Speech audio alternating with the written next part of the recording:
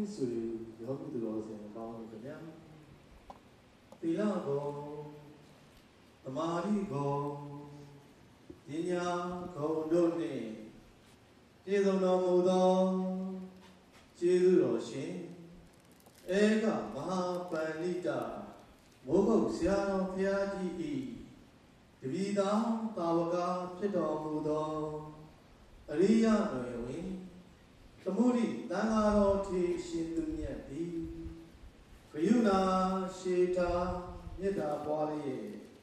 သစ္စာတရားဟောကြားဆုံးမတော်မူရန်ဓမ္မသနပလင်ပေါ်သို့ကြွားရောက်တော်မူလာပြီဖြစ်ပါ၍ တရဏဂုံ၃ပါးနှင့်တကွအင်္ဂါ၈ပါးနှင့်ပြည့်စုံတော်မူသောသီလတော်မြတ်ကိုခံယူစောင့်တည်ကြရအောင်ယုံသေးစွာရှိခိုးကြော့ကြပါစို့ခင်ဗျာဩ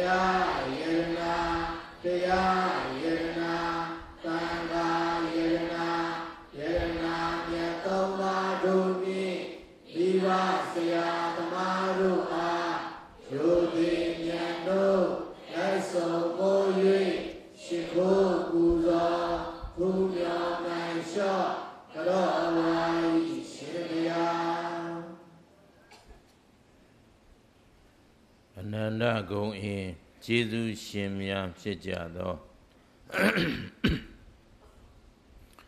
ဖယားတိဟုသော အမြတ်ဆုံးယရနာ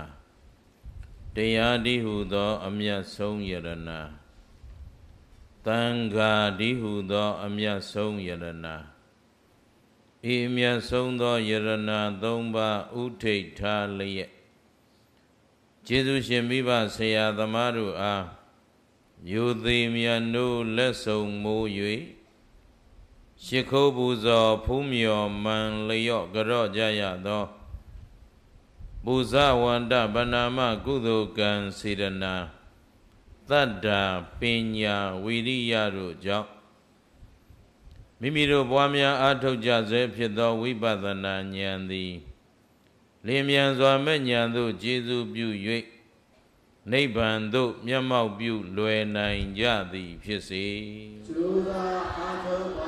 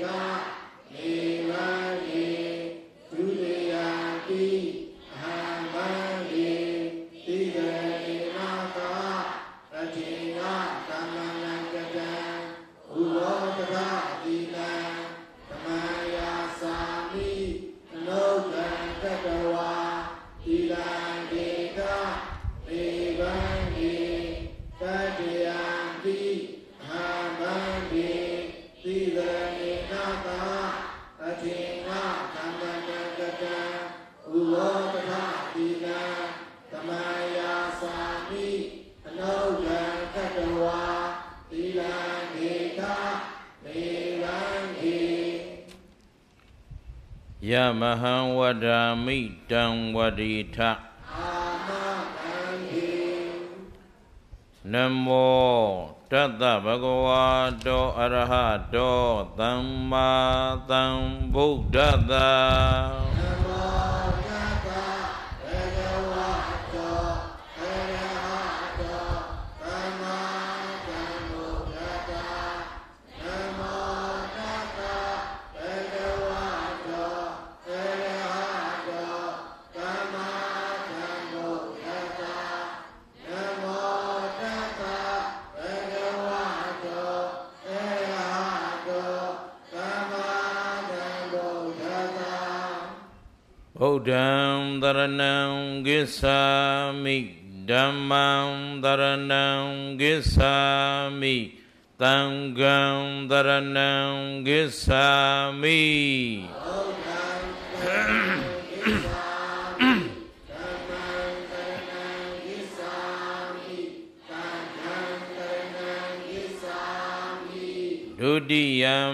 ဗုဒ္ဓံတရဏံဂစ္ဆာမိဒုတိယံပိဓမ္မံတရဏံဂစ္ဆာမိဒုတိယံပိသံဃံတရဏံဂစ္ဆာမိဒုတိယပိဗုဒ္ဓံ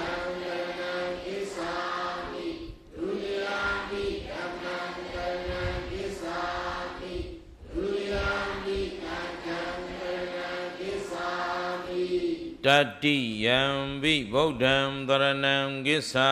မိတတိယံပိဓမ္မံတရဏံဂစ္ဆာမိတတိယံပိသံဃံတရဏံဂစ္ဆာမိတတိယပိဗုဒ္ဓံ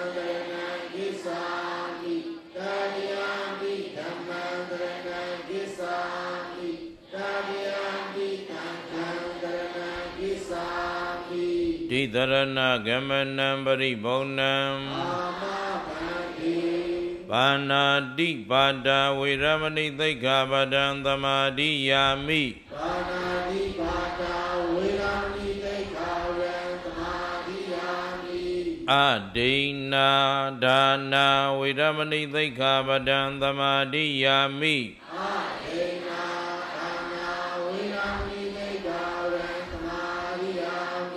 အဗျမ္မစရိယာဝေရမဏိသိက္ခာပဒံသမာဓိယာမိအာဓမ္မစရိယာဝေရမဏိတိခာရံသမာဓိယာမိမုသာဝါဒာဝေရမဏိသိက္ခာပဒံသမာဓိယာမိဘုဒ္ဓဝါဒဝေရမဏိတိခာရံသမာဓိယာမိသုရာမေရယမေဇဗမ္မာဒဋ္ဌာနာဝေရမဏိသိက္ခာပဒံသမာဓိယာမိသူ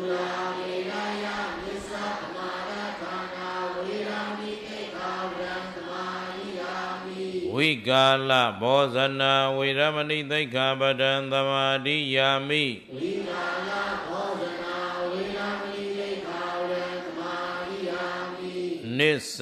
နိစ္စဂိတဣတာဝါဒိတဝါရိတာဝိတုကဝိတုကဒသနာသတ္တနာမာလာကန္ဒမာလာခန္ဓာဝိလေပနဝိလေပနာဒါရဏသာယနာ မန္တနာမန္တနာဝိဘုဒနာဒါနာဝေရမဏိသိက္ခာပဒံသမာဓိယာမိဝိဘုဒနာခန္ဓာဝေရမဏိတိခာရံသမာဓိယာမိဥ္စာသယနာမဟာသယနာဝေရမဏိသိက္ခာပဒံသမာဓိယာမိဥစ္စာတေနာမဟာတေနာဝေရမဏိတိခာရံသမာဓိယာမိဇေဝိတံဝိဝိတံသဇမာနောပိသာသမာနောပိ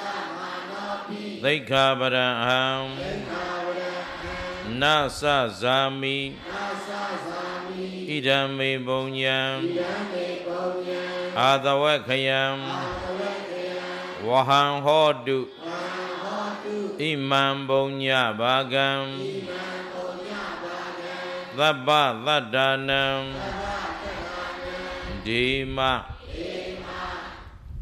တိတရဏိနသဟအထင်္ဂသမ္မနာကတံ ဥပောသထပရမထသီလံသာရုကံကတဝဓမ္မအပမဒီနသံပါတိထအာမပန္တိဓမ္မမိတ်ဆွေယောဂီသူတော်စင်ပေါင်းတို့ခင်ဗျာယေရှုတော်ရှင်အဲကမဟာပန္တိတာဘုဂုတ်ဆရာဘုရားကြီးဟောကြားဆုံးမတော်မူအပ်သော ပရိစ္ဆသမုပ္ပတ်တရားရတာများကိုဉာဏ်ညာဖြပြရွတ်ဆိုပူဇော်ကြတော့ရပါစို့ခညာဘုံလာတရားတေသာ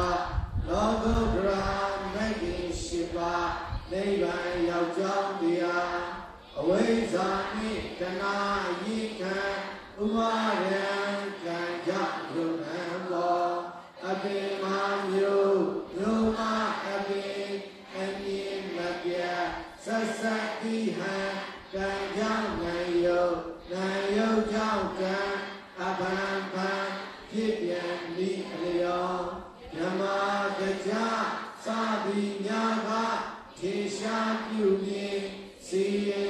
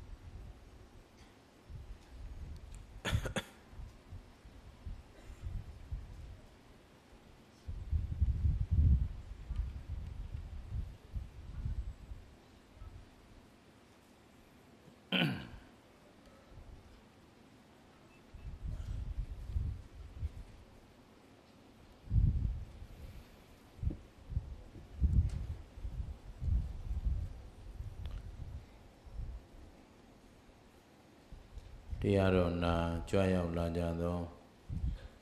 ယောဂီသူတော်စင်များအားလုံးမိမိတို့ခန္ဓာကိုယ်အရိယာပုဂ္ဂလေးမြတ်တစွာထိုင်ပြီးတော့အာယုန်တစ်ပါးစိတ်မသွားစေဘဲနဲ့တရားတော်ကို နာယူနိုင်ကြပါပြီယနေ့သာသနာတော်နှစ်2562ခုနှစ် ကောဇာတက္ကရာ1380ပြည့်နှစ်နေယုံလာဇန်6ရက်ခရစ်နှစ်2018ခုနှစ်5လပိုင်း20ရက်နေ့ညကျေးဇူးတော်ရှင်အက္ကမပန္တိတမိုးကုတ်ဆရာတော်ဘုရားကြီးဤတရားဌာနမန္တလေးတိုင်းပကံမြို့သစ်မိုးကုတ်ဝိပဿနာဓမ္မရိပ်သာအတွင်းရှိဓမ္မပူဇနိယနေရာဌာန၌ပကံမြို့သစ် ကောဇကံအတွင်သတင်းသုံးနေထိုင်တော်မူကြကုန်သောမြတ်စွာဘုရားအမှုရှိသောအရိယာနွယ်ဝင်သံဃာတော်ထေအရှင်သူမြတ်အပေါင်းတို့အားဥထိပ်ပန်ဆင်လျက်မြို့မိမြို့ဖလူကြီးမင်းများနှင့်တကွမောဂဝိပဿနာဓမ္မရိပ်သာအကျိုးတော်ဆောင်လူကြီးမင်းများအားအမှုထား၍ဆင်ရင်ကျင်းပပြုလုပ်အပ်သောရန်ကုန်တိုင်းမော်ဘီမြို့ ဗုဒ္ဓတရားဇောနှင့်တရားတော်နှင့်လုပ်ငန်းစဉ်ပြန်ပွားရေးတရားဌာနမင်္ဂလာတိုက်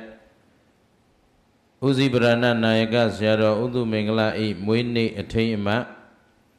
မိဘကျေးဇူးဆဆေရတာအထုအလုပ်ပေးတရားစခန်းပွဲပထမရက်ပထမညတရားတော်နာကြွရောက်လာကြသောယောဂီသူတော်စင်များအားလုံးစိတ်ချမ်းသာခြင်းကိုယ်ဤကျမ်းမာခြင်းပြည့်စုံစွာနှင့် ဦးဇင်းတို့ဟောပြောပြသမဲ့သစ္စာတရားများကို နာလဲနာနိုင်ကြပါစေနာတဲ့အတိုင်းလဲသိကြပါစေသိတဲ့အတိုင်းလဲဒီဘဝဒီခန္ဓာမစွန့်ကြခင် ကိုဒုက္ခကိုလက်ဆသိမ့်အောင်ကျင့်ကြံကြိုးကိုပွားများအားထုတ်နိုင်ကြပါစေလို့ရှေးဥစွာမေတ္တာဘုဒ္ဓပေးလိုက်ပါတယ်နော်သစ္စာတရားတော်တို့ကိုဟောကြားရာ၌ အနန္တဂုံအင်ကျေးဇူးရှင်များဖြစ်ကြသောဘုရားယရနာတရားယရနာသံဃာယရနာယရနာတော်မြတ်သုံးပါးတို့နှင့်တကွအမိအဖဆရာသခင်ကျေးဇူးရှင်အပေါင်းတို့အားပူဇော်ကျေးဇူးဆက်သောအားဖြင့်၎င်းဦးဇင်းဤမျက်မှောက်သို့ယနေ့တရားနာကြွရောက်လာကြသောတန်တရာဤဆွေတော်မျိုးတော်အပေါင်းတို့အားကျေးဇူးဆက်သောအနေနဲ့ ဟောကြားသွားမယ်ဓမ္မဒေသနာယဓမ္မဘူဇနိယဓမ္မဒါနကောင်းမှုနိဗ္ဗာန်စုနတ်လူသာဓုခေါ်စေတော်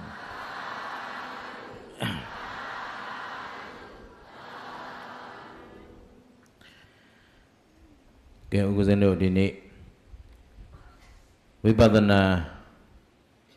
လုပ်ငန်းစဉ်တရားအစမှာ တရားပိုင်ရှင်ဖြစ်တော်မူသောမြတ်စွာဘုရားရှင်ကိုရောမြတ်ကြီးအားဦးဇင်းကဥစွာပထမပနာမရှိခိုးကြော့ပါမယ်ဒုရကဓမ္မအလုံးလက်အုပ်ချီအာယုံပြုပြီးတော့နှလုံးသွင်းနာယူပူဇော်ကြရအောင်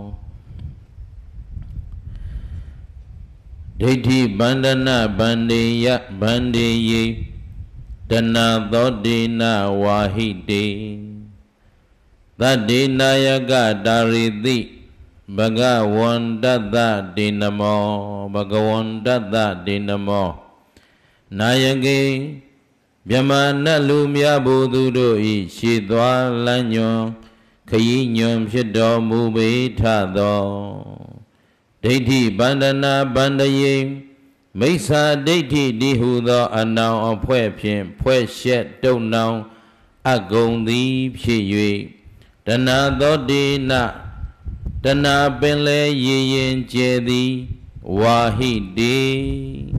ကံမမြင်လမ်းမမြင်ဆုံးမထင်အောင်အစဉ်တစိုက်မျောအပ်ကုန်သောတတ္တိပုထုဇဉ်တွေပေါ်ရများစွာတတ္တဝါတို့ကိုတွန်းရှင်ပင်မြတ်ဖရာသည်ဒါရိတိသေဆောင်မဲ့ခင်သင်္ဘောရင်ဖြင့် ဆေတင်ကေမတော်မူပါပေ၏ဘဂဝန္တတဘုံတော်6ဆုံကျေးဇူးဂုံနှင့်ပြည့်စုံတော်မူသောဒေရှင်တော်မြတ်ဖရာအနမောလက်ဆယ်ပြာဆယ်ပြာလက်ဆုံးကြပတုံဖြင့်ပန်ထွာညွကျူလက်ဆုံးမိုး၍ရှ िख ိုးကြော့ပါဤမြတ်စွာဖရာ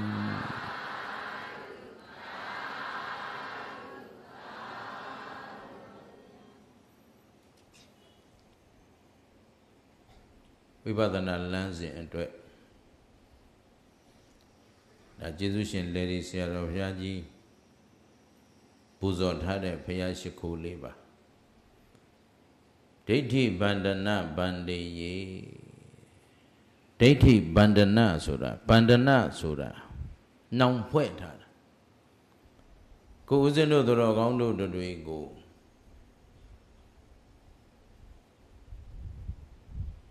ဟောဒီတန်တရားရည်ရင်ကြောကြီးတဲ့ကနေယုံမထွက်နိုင်အောင်ချီနှောင်တုတ်ထားတဲ့တရားကဒိဋ္ဌိတဲ့မလုံနိုင်မရှက်နိုင်မကူးနိုင်မခတ်နိုင်အောင်တဏသောဒိဏဆိုတာတဏရည်ရင်ကြောမှာလူတယောက်ကိုခြီတုပ်ပြီးတော့မြစ်ထဲမျောချလိုက် သူ့မှာကူးနိုင်ခတ်နိုင်တဲ့အစွမ်းရှိပါဦးမလားမရှိတော့ဒီရည်စည်းတည်တဲ့နေရာမှာလို့မျောပါသွားရမှာဟုတ်တယ်နော်အဲ့တော့မြတ်စွာဘုရားကဦးဇင်းတို့သူတော်ကောင်းတို့ကို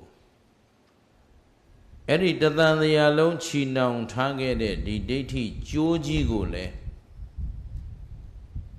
ဖြည့်ပေးခဲ့သလို တသံတရားလုံးမျောနေတဲ့ဒီတဏှာရည်တွေကလည်းဆယ်တင်ပေးခဲ့တဲ့ဂျေဇုရှင်ကြီးလို့ဒီလိုနှလုံးသွင်းပြီးတော့ပူဇော်ရမယ်နော်ကောင်းပြီဒီနေ့လူစင်းက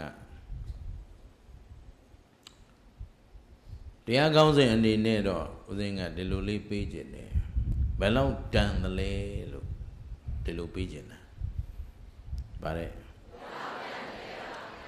အဲ့ဒီကောင်းစဉ်နဲ့အညီပဲဒုဒကရမတွေကိုကိုကိုနှလုံးသွင်းကြည့်စားကိုဘဝကိုငါဟာဘလောက်တန်တဲ့လူလဲလို့စဉ်းစားဘူးလားကြံစီဘူးလားဒါဆိုရင်ကိုတန်ဖို့ကို သိတဲ့လူလို့ပြောမလားမသိတဲ့လူလို့ပြောဒါအမှန်ပဲနော်တန်ဖိုးမသိရင်ကျေးဇူးမသိရင်ဒီစကားတွေကိုဦးဇင်းအကြိမ်ကြိမ်ပြောခဲ့တာအကြောင်းမဲ့မဟုတ်ကိုယ်တန်ဖိုးကိုကိုသူတစ်ပါးကိုသာပြန်ပြီးတော့ခမရတို့တွက်ချက်နေကြတာဘယ်သူကိုလကဘယ်လောက်ပေးမယ် ဘယ်သူကိုမုံဘိုးဘယ်လောက်ပေးမယ်ဇရိတ်ဘယ်လောက်ပေးမယ်ဘယ်သူကဘယ်လောက်တန်တယ်နဲ့တွက်နေတာကိုယ်တန်ဖိုးကိုမတွက်ဖူးရင်ကိုယ်တန်ဖိုးအမှန်ကိုသိပါမလားသိပါပါဘုရားဒီတော့မိမိတို့တန်ဖိုးကိုမိမိတို့ရွေးချယ်ပိုင်ခွင့်ရှိ၏မရှိ၏ ရှိတယ်နော်ဒါဖြင့်ကိုတန်ဖိုးကိုကိုဆုံးဖြတ်ပိုင်ခွင့်ကောဩဒီလိုတော့သိတာပဲဒါဖြင့်ရင်ကိုတန်ဖိုးကိုကိုတတ်မှတ်နိုင်အောင်ကြိုးစားပြီးတော့ဒီဘဝကိုအဆုံးသတ်မလားဓမ္မမဟုတ်ရင်တန်ဖိုးမသိတဲ့ဘဝနဲ့ပဲဏိကုံးချုပ်ကြမလား တန်ဖိုးတန်ဖိုးတစ်ခုတတ်မှတ်နိုင်အောင်တော့ကြိုးစားတဲ့မကြိုးစားတဲ့အဲ့တော့ကိုယ်တန်ဖိုးကိုအတိဘယ်တန်ဖိုးတင့်ဖော်ဆောင်ဖို့အတွက်တတ်မှတ်နိုင်တဲ့နှုံထားတွေကိုအရင်ဥစွာသိဖို့လိုအပ်မလိုအပ် အဲ့တော့အခုဦးဇင်းတို့တန်တရားခရီးသွားတယ်အခုတော်ကောင်းတို့ရောက်ရှိနေတဲ့ကိုယ်နေရာကိုပြန်ပြီးတော့အရင်စဉ်းစားကြည့်ရမယ်32ဘုံမှာဘယ်ဘုံဘယ်ဘဝဘယ်ဌာနရောက်နေကြဟုတ်ပြီအဲ့တော့လူဘုံလူဘဝလူဌာနဆိုတာအထက်မှာလားအောက်မှာလားဘယ်မှာဘယ်မှာဩအလယ်မှာဆိုတော့သူ့အထက် နေရာဌာနတွေလည်းရှိမရှိအောက်နေရာဌာနတွေရောဒါဖြင့်ခင်ဗျားတို့ကျွတ်တို့လူဘုံအောက်မှာဘာတွေရှိငရေဒလိษံပြိတ္တာအတုရကေအပေဘယ်နှဘုံလဲလေးဘုံဒုက္ကတိဘုံကြီးရှိနေတယ်လူပြည်ရဲ့အထက်မှာဟောပါလိရှိတယ်နတ်ပြည်ရဲ့မြမပြည်ရဲ့မရှိဘူးလား ဒါပဲလား30ဘုံနဲ့ပြောရင်တော့ဒါပဲပေါ့သို့တော့30ဘုံကလွတ်မြောက်တဲ့နိဗ္ဗာန်ဆိုတာရှိမရှိအဲအခုတော်ကောင်းတို့နိဗ္ဗာန်ရှိကြောင်းမသိတဲ့ဘဝမှာလူဖြစ်နေတာလားသိတဲ့ဘဝမှာလူဖြစ်နေတာအဲ့ဒါလဲသူတော်ကောင်းတို့ဟောဒီမြတ်စွာဘုရားပွင့်တဲ့ကာလာကလေးမှာလူဖြစ်ခွင့်ရတဲ့အတွက် ကိုတန်ဖိုးကိုသင့်တဲ့နေရာမှာတန်ဖိုးသတ်မှတ်တဲ့နေရာမှာမမေ့သင့်တဲ့အချက်တစ်ချက်လို့ဒါလေးကိုနှလုံးသွင်းထားရမယ်ငါတို့ဟာသမ္မန်သမ္မညသာသနာဗမှာလူဖြစ်နေတာလားသာသနာတွင်းမှာလူဖြစ်နေတာဒါဖြင့်တို့တွေမှာနတ်ဘုံမြမဘုံအပြင်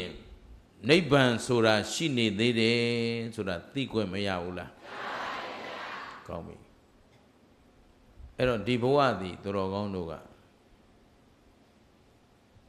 ငရဲနဲ့ထိုက်တန်တဲ့ဘဝလားတလိษံနဲ့ထိုက်တန်တဲ့ဘဝလားပိဋ္ဌာအတုရကေနဲ့ထိုက်တန်တဲ့ဘဝလား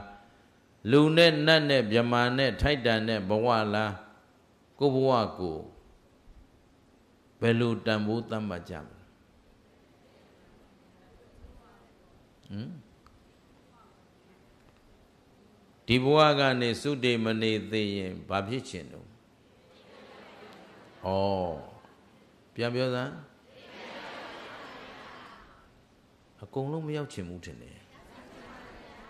ဟုတ်တော့ဗောယောဂီကတဝက်ယောဂါတဝက်နော်ညမလာတဲ့ယောဂသည်တွေလည်းရှိသေးတယ်အဲ့တော့အလုံး အရောက်သင့်ဆုံးနေရာပဲနေရာလဲ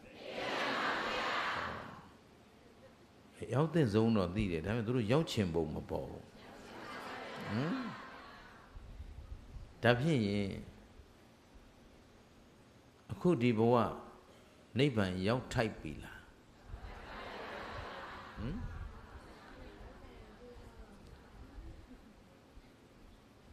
အဲ့ဒါတန်ဖိုးပဲနော် တချို့ကလူဘဝမှာလာပြီးတော့ငရဲယောက်ျောင်းအလုတ်တွေလှုပ်ပြီးပြန်သွားတယ်သူတန်ဖို့ကဘယ်လောက်တန်လဲငရဲလောက်ပဲတန်တယ်ငရဲနဲ့ပဲထိုက်တန်တချို့ကလူဘဝမှာလာပြီးတလိษံဖြစ်ကြောင်းအလုတ်တွေလှုပ်ပြီးပြန်သွားသူကဘာနဲ့တန်တဲ့လူလဲတချို့ကြတော့လေ လူဘဝလာပြီးတော့သာတန်ရောစဉ်သမီးတန်ရောစဉ်ဆွေတန်ရောစဉ်မျိုးတန်ရောစဉ်နော်ဒီနဲ့အချိန်ကုန်ပြီးတော့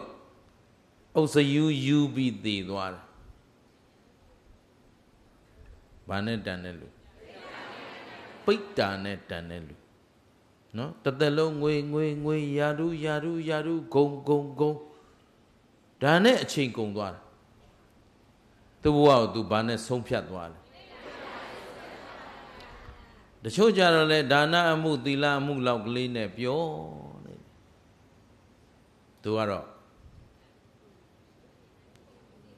နတ်ပြည်လူပြည်နော်လူချမ်းသာနတ်ချမ်းသာလောက်ပဲသူ့ဘဝကိုတန်ဖိုးသတ်မှတ်ထားတဲ့လူတချို့ကြတော့သမထဘာဝနာတွေကိုဇန်အပိဉ္ဉ်တွေရသည့်တိုင်အောင် အပတ္တကုတ်ကြိုးစားပြီးတော့ဇန်တွေနဲ့ပြောနေလိုက်တယ်သူကဘာနဲ့တန် ပြမာနဲ့တန်ကဲဒါဖြင့်နိဗ္ဗာန်နဲ့တန်တဲ့လူဆိုတာဘယ်လိုလူမျိုးလဲဟမ်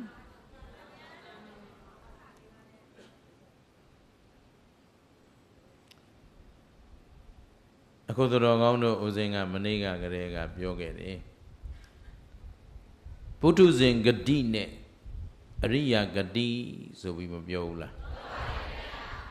အရိယာဂတိလို့ခေါ်တဲ့အရိယာလမ်းအရိယာလမ်းဆိုတာအရိယာတို့လျှောက်တဲ့လမ်းဟာဘယ်ရောက်ကြောင်းလဲအဲ့ဒီနိဗ္ဗာန်ရောက်ကြောင်းအလုတ်ဖြစ်တဲ့ဘောဓိပက္ခိယ38ပါး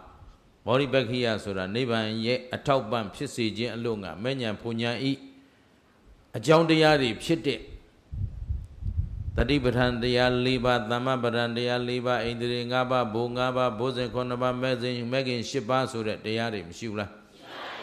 အေးအဲ့ဒီတရားတွေအာထုတ်နေတဲ့လူတွေကြတော့ဘာနဲ့ထိုက်တန်တဲ့လူတွေလဲအဲအခုတော့တော်တော်ဟုတ်သွားပြီအဲ့တော့ကိုတန်ဖိုးကိုဒီနေ့အားလုံးကိုကိုကိုဘလောက်တန်တယ်လဲလို့ ဆုံးဖြတ်ဖို့အချိန်ဟောတန်ပလားတော်သေးတာပေါ့အခုချိန်တန်လို့နော်ကောင်းပါတယ်လေကျေးဇူးရှင်မိုးကုတ်ဆရာတော်ဘုရားကြီးကလည်းပြောထားပါတယ်အသေးမဥခင်အခုခင်ဗျားတို့မသေးသေးခင်ဆုံးဖြတ်မယ်ဆိုတော့ဒါအတော်ဟုတ်သွားပြီလို့ပြောရမှာပေါ့နော်ကဲငရဲရောက်ရရင်ဂျင်းတ်ပလားဟမ် ဂျင်းတ်လားဒါဖြင့်ငရဲမရောက်ချင်ဘူးလို့ကြုံអော်နေဟမ်အခုခေတ်အရေးဟိုအခုခေတ်ခေတ်စားနေတာရှိတယ်အစိုးရကိုဆန္ဒသွားပြကြည့်ငရဲငရဲမရောက်ချင်ဘူးလို့အခုကဆန္ဒပြတာခေတ်စားနေတာဟုတ်ပါအဲ့တော့ခုဒေါ်အောင်ဆန်းစုကြည်ဥဆောင်တဲ့ ပြည်သူအစိုးရကြီးကပြည်သူအကြိုက်နော်ပြည်သူတွေအတွက်မော်မြတ်ချမ်းသာတဲ့ဘဝကိုထူထောင်ပေးဖို့ကြိုးစားနေတာဆိုတော့ငါတို့ကလည်းငရဲမရောက်ချင်ဘူးငရဲမရောက်ချင်ဘူးလို့ဆန္ဒသွားပြဟမ်ရမလားငရဲကဘယ်လိုလူရောက်တာလဲငရဲရောက်ကြောင်းอืม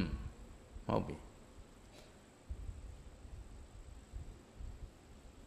အဲ့ဒီငရဲသလိษံပြိတ္တာသူတကယ်ဆိုတဲ့အပယ်လေးပုံရောက်ကြောင်းနဲ့နိဗ္ဗာန်ရောက်ကြောင်းကြားထဲမှာဘာချားနေသလဲဒါလေးကိုဒီနေ့ဦးဇင်းကထုတ်ဖော်ပြီးတော့လမ်းညွှန်မယ်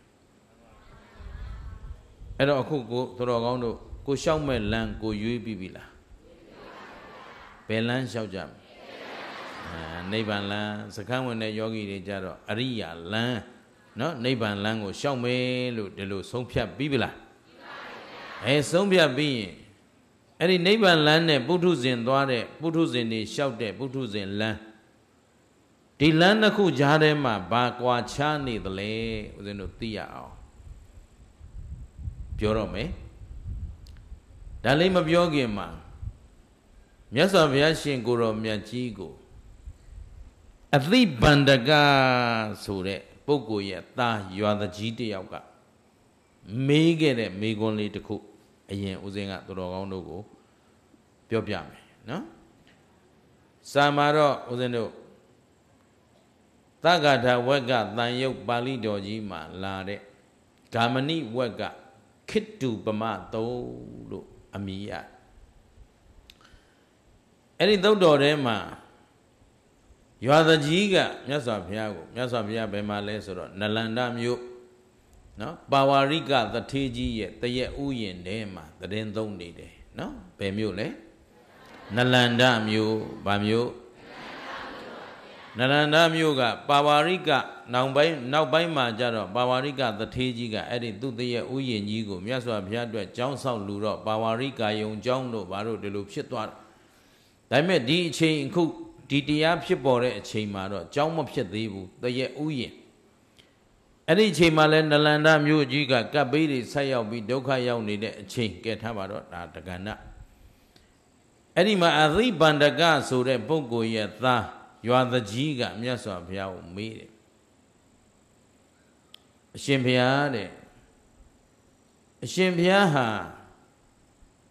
သုံးလောကထွတ်ထားမြတ်စွာဘုရား ဖြစ်သည့်အားလျော်စွာတတ္တဝါတွေကိုယင်ဝယ်သားနဲ့မချတတ္တဝါအလုံးကို သူ့သားတော်လေးရဟုတ်လာလို့ပဲသဘောထားပြီးတော့တဏဂရုဏာနဲ့ကဲတင်ဆောင်ယူနေတယ်ဆိုတာဟုတ်သလားနော်မြတ်စွာဘုရားကိုမေးတာအဲ့တော့မြတ်စွာဘုရားသည်တတ္တဝါတို့ရဲ့ပေါ်မှာချစ်သူမုန်းသူလိုသူမလိုသူခြားနာချက် ဩသာဓုသာဓုသူတို့သိကြတယ်မြတ်စွာဘုရားသည်တတ္တဝါအလုံးပေါ်မှာတဒန်းတဲ့သောကရုဏာနဲ့နော်ဒီလိုမျိုးကရုဏာဆိုတာမြတ်စွာဘုရားကလွဲပြီးဘယ်သူမှမထားနိုင်လို့မြတ်စွာဘုရားသည်မဟာကရုဏာတော်ရှင်လို့နော်ရှင်သာရိပုတ္တရာတော်မဟာတတ်ပိုင်ခွင့်မရှိဘူးမဟာတတ်လောက်တဲ့ကရုဏာမရှိဘူးအဲ့တော့အလုံးမဟာကရုဏာတော်ကြီးရှင်ကြီးပြီပြီတတ္တဝါအလုံးပေါ်မှာအစင်တနာတဲ့စိတ်ရှိမရှိ ရှိပါရဲ့သန်းနဲ့အဲ့ဒီလိုရှိတယ်ဆိုရင်တဲ့ဘာလို့တတ္တဝါတွေအပေါ်မှာဟိုလူကြတစ်မျိုးဟောဒီလူကြတစ်မျိုးဟောဟိုပုဂ္ဂိုလ်ကြတစ်မျိုးဆိုအလုံးကိုအတူတူဆိုတရားအတူတူဟောပါလားလေဘာလို့မတူတာတွေရှောက်ဟောနေလဲလေကဲဘုရားကိုဆွဆွဲပြီမြတ်စွာဘုရားဘာလုပ်တယ်ဆွဆွဲပြီ မဟာကရုဏာတော်ရှင်ကြီးဆိုရင်အကုန်တထမ်းနဲ့ဆိုရင်တထမ်းနဲ့အတူတူဟောပေါ်တယ်ဘယ်သူလာလာဒီတရားပဲဟောပေါ်တယ်အခုတော့တယောက်တစ်မျိုးဟောနေတာတဲ့ဘယ်သဘောလဲတဲ့ဒါမေးတယ်မမေးတယ်ရသော်ဘုရားတရားများစွာမရှိဘူးလားပိဋကတော်ကြီးမှာနော်ပိဋက3ဘုံဓမ္မခန္ဓာပေါင်း8400ဟမ်များစွာမရှိဘူးလားဒါတော့အများကြီးဟိုလူတစ်မျိုးဒီလူတစ်မျိုးဟောလို့ဒီလိုဖြစ်နေတာပေါ့ တကယ်တော့မဟာကရုဏာရောရှင်ဖရာဆိုတစ်မျိုးတည်းပဲဟောပေါ့တစ်ပုတ်တည်းပဲဟောပေါ့ပြီးပြီပေါ့ဘာလို့ကိုတော်ကမျိုးစုံဟောနေရသလဲတဲ့တကြီးရတကြီးရနော်ဒီတော့မြတ်စွာဘုရားကပြုံးပြုံးလေးပဲပြန်ပြောတယ်အဖြစ်မင်းကိုပဲငါမေးပါဦးမယ်ကွာခိတုပမာဆိုတာလေယာမြေဥပမာပေါ့အဲ့တော့လေမြေမှာငါတို့စိုက်ပျိုးလုပ်ကင်စားတော့ကြတဲ့အခါတဲ့ မြေစီဩဇာကောင်းပြီးတော့ဥရုတပ္ပါယမြနေရာထိုင်ခင်လျှောက်ပတ်တဲ့လေယာမြေကွက်ရှိမယ်မြေစီဩဇာအသင့်အသင့်နာရှိပြီးတော့ဥရုတပ္ပယလည်းမမြတဲ့နေရာတွေရှိမယ်ပကံညောင်ဥရုလိုနေရာမျိုးပေါ့နော် အဲပကံညောင်မှုတော့ဘယ်ထဲထဲရမှန်းတော့မသိပါဘူးနော်ဟိုမြေစီဩဇာကောင်းတယ်ဆိုတော့ဟိုအေယာဝတီတိုင်းတို့ဒီပဲခူးတိုင်းတို့အစရှိသဖြင့်ဒီအေယာဝတီအေယာဝတီမြေရိုးတစ်လျှောက်လမ်းတစ်လျှောက်နော်ကောက်ပဲသီးနှံနေနော်ဖောဖောတီတီအောင်အောင်မြင်မြင်စိုက်ပျိုးနိုင်တဲ့နေရာတွေမရှိဘူးလားအဲမိုးလေဝသလည်းဥရုသုံးပါမှန်ပြီးတော့မြေစီဩဇာကောင်းတဲ့နေရာတွေရှိသလိုမြေစီဩဇာညံ့တဲ့နော်အသင့်အတင့်နေရာတွေရောမရှိဘူးလား အဲနောက်ပြီးတော့မြေစီဩဇာလုံးဝညံ့ဖြစ်တဲ့ကြောက်စီရဲ့မြေသဲမြေနော်မိုးလေဝသကလည်းမမှန်သူရွာချင်းရွာမရွာချင်းမရွာဘူးဆိုတော့ညံ့ဖြစ်တဲ့မြေဆိုပြီးတော့မြေမျိုးစား၃မျိုးရှိတယ်ဆိုကြပါစို့ကွာအကောင်းဆုံးမြေရဲ့အလက်တန်းစားမြေရဲ့အညံ့ဆုံးမြေရဲ့မြေဘယ်နှမျိုးလဲ ခဲရီအဲ့ဒီသုံးမျိုးမှာမင်းအဲ့ဒီမှာသီးနှံနေစိုက်စမ်းလို့ပြောလိုက်ရင်မင်းဘယ်မြေစိုက်မလဲဘာဖြစ်လို့ဟမ်ကိုယ့်အတွက်အကျိုးအမြတ်များများမရနိုင်ဘူးလားအဲ့တော့အသိပန္ဒကသာတကြီးကတော့အရှင်ဘုရားတဲ့တပည့်တော်တို့စိုက်ဖို့ပြိုးဖို့ ရွေးချယ်ဆိုရင် အကောင်းဆုံးမြေကိုအရင်ရွေးပြီးစိုက်မှာပေါ့ဘုရားပြီးတော့မှအလတ်တန်းစားမြေပေါ်မှာစိုက်မယ်တဲ့ပုံနေသေးရင်အလတ်တန်းစားမြေပေါ်မှာစိုက်မယ်အဲနောက်ဆုံးအညံ့ဆုံးမြေကတော့နွားစာပဲရရမြင်းစာပဲရရဆိုပြီးတော့ကျဲကျင်လဲကျဲမယ်မကျဲကျင်လဲမကျဲတော့ဘူးပေါ့ဟုတ်ကလားဟဲ့ဒါဖြစ်ရင်အသိဉာဏ်ရှိတဲ့လူသားဆိုရင်ဘ ယ်မြေမှာဥစွာစိုက်မလဲဒီတိုင်းပဲกว่าတယ်အခုငါကလည်းငါတရားတော်တွေကိုဟောတဲ့နေရာမှာငါရဲ့တပည့်သားတာဝကတွေမှာအဆင့်တန်းမျိုးစုံရှိတယ်တဲ့ပထမတစ်မျိုးကငါရဲ့သားတော်ယဟန်တော်တွေနဲ့ယဟန်မတွေဘိက္ခုဘိက္ခုနီမတွေမရှိဘူးလားအဲ့ဒါပထမတန်းစားတွေတဲ့ဘာလို့ပထမတန်းစားဖြစ်တယ်လဲဆိုတော့ ဘုရားရဲ့တပည့်သားတာဝကဖြစ်တဲ့ယဟန်တာမဏေနဲ့ဘိက္ခုဘိက္ခုနီမတွေမှာအာကိုးစရာသည်သူတို့အတွက်မိခိုစရာလဲလျောင်းစရာသည်ဘုရားတရားသံဃာကလွဲပြီးတခြားမရှိဘူးဒါဖြင့်သူတို့ရဲ့အာယုံမှာဘုရားရဲ့ရှင်ရဲ့တပည့်သားတာဝကတွေရဲ့အာယုံမှာအဲ့ဒီဘုရားတရားသံဃာယရဏမြတ်သုံးကားကလွဲပြီးတော့တပါးသောအာယုံလာစရာအကြောင်းမရှိဘူး မရှိအောင်လဲသွန်သင်္ကန်းကြောင်းစေပစ္စည်းလေးပါးနဲ့ပတ်သက်လို့တွေ့တာကန့်ညှိခြင်းမရှိအောင်မြတ်စွာဘုရားရဲ့သွန်သင်လမ်းညွန်မှုနဲ့ပညာချက်တွေမရှိဘူးလားအေးယဟန်တန်ဃာများဆိုရင်နေဖို့ညစာတော့မထားဘူးနော်နေဖို့ညစာမထားဘူးတရက်စာတရက်ဆွန့်ခံပြီးစားဆိုတော့ဒီအတွက်ဘာမှသာယာစေစရာခုံမင်နေစရာထောင်လွှားတက်ကြွနေစရာအကြောင်းမရှိဘူးကျောင်းဒီတိုင်းပဲကျောင်းတန်ကြီးကကျောင်းတန်ဃာပိုင်နဲ့ကျောင်းကိုပိုင်ကျောင်းဆိုတာမရှိဘူး တကယ်တော့ယဟန်တန်ဃာတွေမှာရှင်းတယ်နော်သင်္ကန်းဒီတိုင်းပဲသင်္ကန်းဆိုတာလဲကိုကိုထားလို့ကိုပိုင်တာမဟုတ်ဘူးတန်ဃာပိုင်တာအခုဘိုင်းကနေလဲသေးလိုက်အခုခွာယူသွားမှာရှင်းသလားအဲ့တော့သွန်သင်္ကန်းကျောင်းစေပစ္စည်းလေးပါးနဲ့ပတ်သက်ပြီးတော့မမောစရာမရှိအောင်ဆိုတော့ဒီဘုရားရှင်ရဲ့တပည့်သားတာဝကတွေထဲမှာဒီဘိက္ခုနဲ့ဘိက္ခုနီမတွေသည်သူတို့ရဲ့ဥထိတ်ထားစရာသူတို့အာယုံပြုစရာသည်ယရနာ၃ပါးအပြင်ဘာမှမရှိခြင်းသည် ပထမဆန်းစားမြေနဲ့တူတယ်တဲ့အဲ့တော့အဲ့ဒီပုဂ္ဂိုလ်တွေအတွက်တတိပဋ္ဌာန်သမ္မပဋ္ဌာန်နော်ဣန္ဒြေဘိုးဘုဇင်အစရှိတဲ့တရားတွေကိုဟောပေးလိုက်မယ်ဆိုရင်ထိုက်ထိုက်တန်တန်ပြည့်ပြည့်စုံစုံစင်စင်ကြဲကြဲမကျင့်နိုင်ဘူးလားမရနိုင်ဘူးလား ရနိုင်တဲ့အတွက်သူတို့ကိုသစ္စာ၄ပါးတရားတွေအမှုရှိတဲ့ဗောဓိပက္ခိယ38ပါးတရားတွေကိုသူတို့ကိုအရင်ထားပြီးတော့ငါပေးတယ်ကွာဒုတိယအလယ်လက်တန်းစားဆိုတာငါဘုရားရဲ့တပည့်သားသာဝကဖြစ်ခံယူထားတဲ့ဥပါဒကဥပါသိကာမတွေအခါအားလျော်စွာတရားစခန်းတွေဝင်တယ်ဥပုံတွေမှာဥပုပ်ဆောင်တယ်ဒီလိုမျိုးတွေမရှိဘူးလားဟေးအဲ့ဒီပုဂ္ဂိုလ်ကြတော့ဒါအလတ်တန်းစားတွေနော်သူတို့မှာဘုရားတရားအာယုံကလည်းတစ်ဖက် ဒီဘက်ကသားရည်သမီးရည်စီးပွားရေးကလည်းတို့ရဒီဘက်ကအလုတ်ကင်လေးလေးအဆင်ပြေဖို့ဝင်ငွေလေးရဖို့ယာရုဌာနငရလေးကျက်ရှိဖို့ဂုံကလေးရှိဖို့ဒီဘက်အာယုံကမရှိဘူးလားဒီဘက်ကအဲ့ဒီအာယုံတွေကယုံယုံထွက်ပြီးတော့ဥပုပ်နေလေးတော့ဥပုပ်ဆောင်လိုက်ဦးမယ်လေးဆိုပြီးတော့ငကားဥပုပ်စာကလေးဥပုပ်တို့ဆောင်တာမျိုးတွေဟမ်သဘောပါလားအဲ့ နော်ပိဋ္ဌာဥပုပ်တို့ငကားဥပုပ်တို့စာကလေးဥပုပ်တို့နော်စောင့်တာတွေမရှိဘူးလားအဲဒါကြတော့အလတ်တန်းစားတွေအဲ့တော့အလတ်တန်းစားကြတော့အလတ်တန်းစားနဲ့ထိုက်တန်တဲ့တရားကိုမလုပ်အောင်အဲ့တော့အလတ်တန်းစားကိုပထမတန်းစားတရားသွားဟောလို့ဟောဒါကအခုကျေးဇူးရှင်ဘုန်းကြီးဆရာတော်ဘုရားကြီးရဲ့တရားတွေတချို့က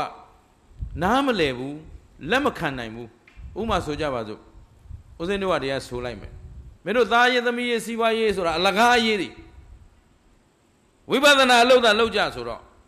ဒါဘယ်လိုလူဟောတဲ့တရားလဲပထမတန်းစားတွေ first class ကိုဟောတာဟိုအောက်တန်းစားတွေပဲလက်ခံနိုင်မလဲကိုတော့ဘသူကျွေးမှလဲလာမှာပေါ့ဟမ်ကိုတော့ကျွေးထားမှလားတပည့်တော်တို့ကဘယ်သွားနေရမှာဆို तू အမှငကိုကအဆင့်မီတဲ့လူမှမဟုတ်တာဘူးဒီအဆင့်မီပြီးသားပုံကိုယ်တွေကနေစရာလည်းမပူပါဘူးစားစရာလည်းမပူပါဘူးသွားစရာလည်းမပူတော့ ဟေးမင်းတို့သားရဲ့သမီးရဲ့စီဝါရဲ့အလကားရဲ့ဆိုမှန်တယ်ကိုတော့အဲ့ဒီလှုပ်လက်ကြည့်စရာမလိုဘူးခွေးရေးကြောင်ရေးဘာမှမပါဘူးရှင်းလားအခုခင်ဗျားတို့လူဘဝကလူတွေကြတော့ကိုစားဖို့တော့ဘဝလည်းရှိတယ်ရှိတယ်ကိုနာပတ်ဝန်းကျင်ဟာရှုပ်ရှက်ကိုခန်းနေတာအဲ့တော့အဲ့ဒီလူတွေသားရေးသမီးရေးသွားပြောတော့အမ်မလုံလို့မှ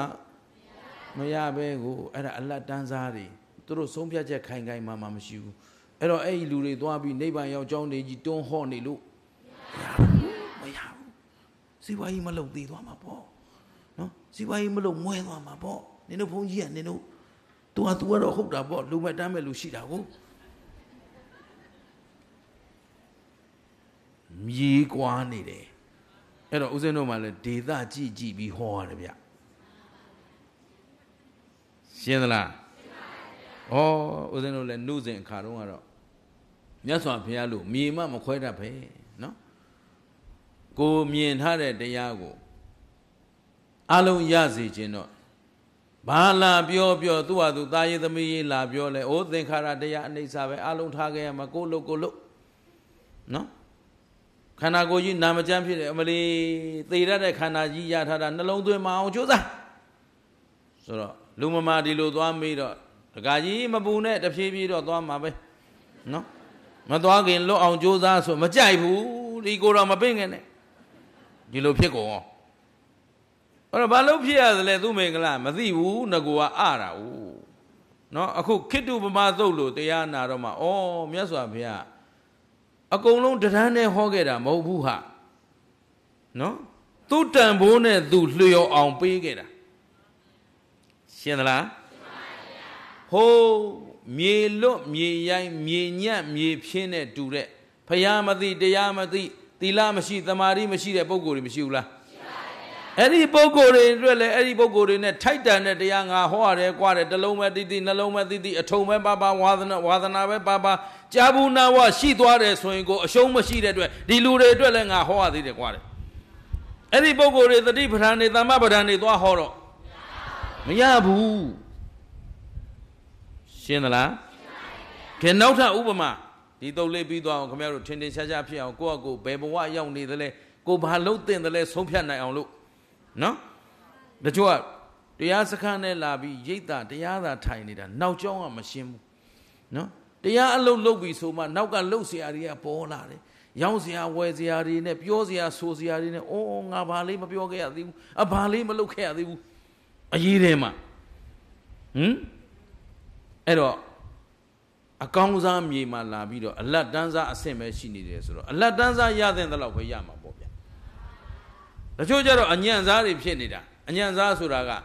တရားကိုနှလုံးမသွင်းနိုင်ဘူးဟိုလူမကြည်ရတာနဲ့ဒီလူမတက်ရတာနဲ့ဟိုကြည့်မရတာနဲ့ဒီသွားမရတာနဲ့ပူလို့နေမဖြစ်တာနဲ့ နော်လေတိုက်လို့ထိုင်လို့မဖြစ်တာဟာ तू ကလေတိုက်ရင်လဲလေတိုက်လို့လေမတိုက်ရင်လဲမတိုက်လို့ပူရင်လဲပူလို့အေးရင်လဲအေးလို့အာသူ့မှာပြဿနာတက်နေတာဟာဒီနာကြီးထိုင်လို့မရဘူးတဲ့ဒီအကြီးကလေတွေကတအားတိုက်နေတာတဲ့အဲ့ဒါလေးနည်းနည်းလျှော့ပေးဦးတဲ့နေရာရွှေ့ထိုင်ပေါ့မဟုတ်ဘူးဒီနာပဲထိုင်ရင်တာသူကပြဿနာသူကပြဿနာမရှိရှိအောင်ကိုနော်အဲ့တော့ဦးဇင်းတို့ရိတ်သားတွေမှာလုပ်ရင်ဥစဉ်အထူးဂယုဆက်ရတယ်ပန်ကာတတ်ထားရင်အဲ့ဒီပန်ကာခလုတ်ကိုဖွက်ထားမှရတယ် ဖွဲ့မထားရင်တယောက်ကတက်ထပ်ပြီးဖွင့်နောက်တယောက်ကထပ်ပိတ်တယ်တယောက်ကထပ်ပြီးတိုးနောက်တယောက်ကထပ်လျှော့နော်သူတို့မှာဒီပန်ကာပဲမြင်တာခန္ဓာမမြင်ဘူးသဘောပါသလားအခုလည်းရာသီဥတုဆိုတော့အမလီဒါလဟာပင်ကြီးမှထိုင်ရတော့တချို့ကြတယ်အေးဒါမဆိုးနေလို့ကောင်းတချို့ကြတယ်အမလီဒီနေ့ပူလိုက်တာအရှင်ဘုရားဟောသူကပူတာနဲ့အေးတာပဲနှလုံးသွင်းတတ်တယ်ကြံတာမသိဘူး သဘောပါလားဟမ်နိဗ္ဗာန်ရောက်ကြောင်းကပူတဲ့နေရာအားထုတ်ရမှာလားအေးတဲ့နေရာအားထုတ်အဲလို့ပြောလိုက်ရင်တော့ခင်ဗျားတို့ကတဲ့နေတာပဲပြီးရင်သာပြဿနာရှာနေတာသဘောပါသလားရေချိုးတော့မယ်လို့ရေတွေကလည်းနောက်နေမချိုးကြဘူးဟမ်နောက်လည်းမတတ်နိုင်ဘူးတစ်မျိုးလုံးရှိတာမှဒါပဲရှိတာနော်ဒါတောင်မြစ်ထဲကသွားသွားသယ်နေလို့နှုံးမွေးနေလို့ချိုးစရာတောင်ရှိမှာမဟုတ်ဘူးအဲ့တော့အားလုံးပေါ့လေ နောက်တစ်မျိုးလေးမြတ်စွာဘုရားကအဲ့ဒီခိတုပမသုံးပါပဲတခါကြီးတဲ့နောက်တစ်မျိုးလေးမင်းနှလုံးသွင်းကြည့်အောင်တဲ့ငါတို့မှထဲ့စရာရေထဲ့ဖို့အိုးကောင်းမပေါက်မယူမစိတ်နဲ့အိုးအကောင်စားအိုးရှိမယ်ကွာတမျိုးနောက်တစ်မျိုးကပေါက်တော့မပေါက်ဘူးယူနေစိတ်နေတဲ့အလတ်တန်းစားအိုးလဲ ရှိတယ်ကွာနောက်တစ်မျိုးကတော့ပေါက်လဲပေါက်တယ်ယူလဲယူတယ်စိတ်နဲ့စိတ်အတန်းစားဘယ်နှမျိုးပထမတစ်မျိုးကအဲအပေါက်လည်းမရှိဘူးယိုခြင်းလည်းမရှိဘူးစိတ်ခြင်းလည်းမရှိဒုတိယတစ်မျိုးကပေါက်တော့မပေါက်ဘူးစိတ်နဲ့ယိုတယ်တတိယတစ်မျိုးက ဘိုးဘယ်နှမျိုးခဲအဲ့ဒါမင်းတို့တောက်ရည်သုံးရည်အတွက်ခတ်ထဲ့ကြစမ်းဆိုဘယ်အိုးတဲ့အရင်ထက်နော်အပြည့်နာစာကင်းတဲ့အိုးတဲ့အရင်ထည့်ပြီးတော့အဲ့ဒီအိုးပြည့်သွားပြီးရေရရှိနေသေးတယ်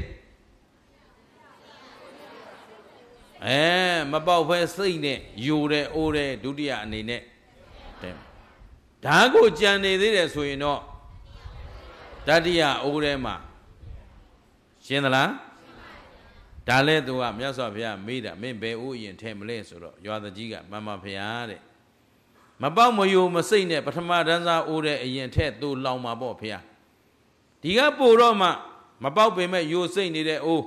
ဒါလက်တလောသုံးဖို့နော်ချက်ချင်းလက်ငင်းသုံးမယ်ဆိုရင်ဒါအယိုအစိတ်ယိုစိတ်နေတဲ့ကြားရကနေရသလောက်တော့သုံးလို့ရသေးတာပဲဆိုပြီးထည့်ရအဲနောက်ဆုံးယိုနောက်ဆုံးအိုးကတော့နွားစာနော် နွားနရီပဲရရကျဲဝက်နွားပဲတိုက်ရတိုက်ရသစ်ပင်ပဲလောင်းရလောင်းရနော်ဆိုပြီးတော့ဒါနောက်ဆုံးအနေနဲ့မထည့်ဘူးလား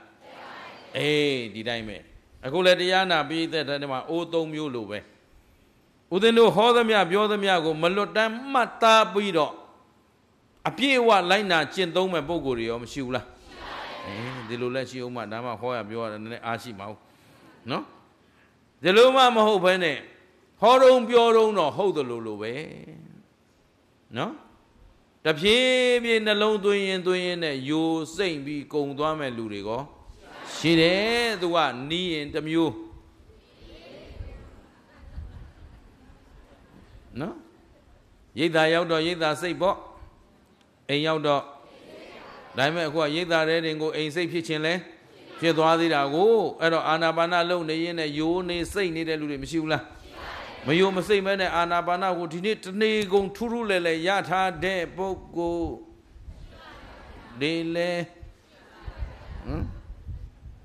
ရှိရှိရှိမမောလေနောက်ဆုံးနောက်ဆုံး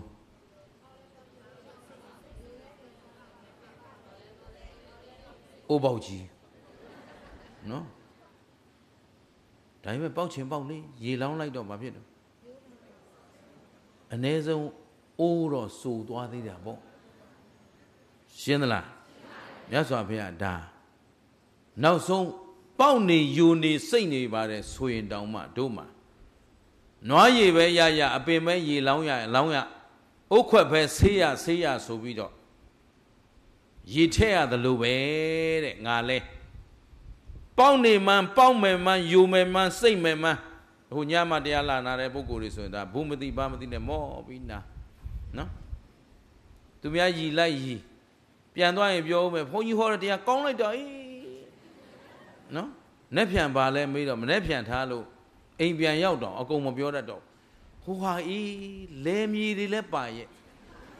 အိုးတွေလည်းပါရဲ့ဘာတွေပြောမှတော့မသိပါဘူးနော် तू ကငကိုရဲ့အပေါက်အယူအစိမ့်ဆိုတော့ဘာမှမကြံ သို့တော်လဲဆိုတော့ဆိုသွားသေးတာဆိုပြီးလောင်းရတာပဲဒီကရှင်းတယ်နော်အဲ့အခုနောက်ကယောဂီတွေကလည်းအင်ကြီးဖြူကလေးတွေဝတ်ပြီးတော့ဒါသူတို့ကိုသူတို့ယောဂီမှန်းသိအောင်ထူးထူးခြားခြားနော်အဲ့တော့ယောဂီလေးတွေဆိုတော့ဒါတရားစခန်းဝင်ကြတာဒစိတ်ကြီးတွေကလို့ဟုတ်တော့မထင်နဲ့ तू ကလည်းပေါက်နေတာသဘောပါသလားအဲ तू ကလည်းယိုလိုက်စိတ်လိုက်နဲ့ဟိုဘက်ပါသွားလိုက်ဒီဘက်ပါသွားလိုက်နော် तू ကယောဂီတွေက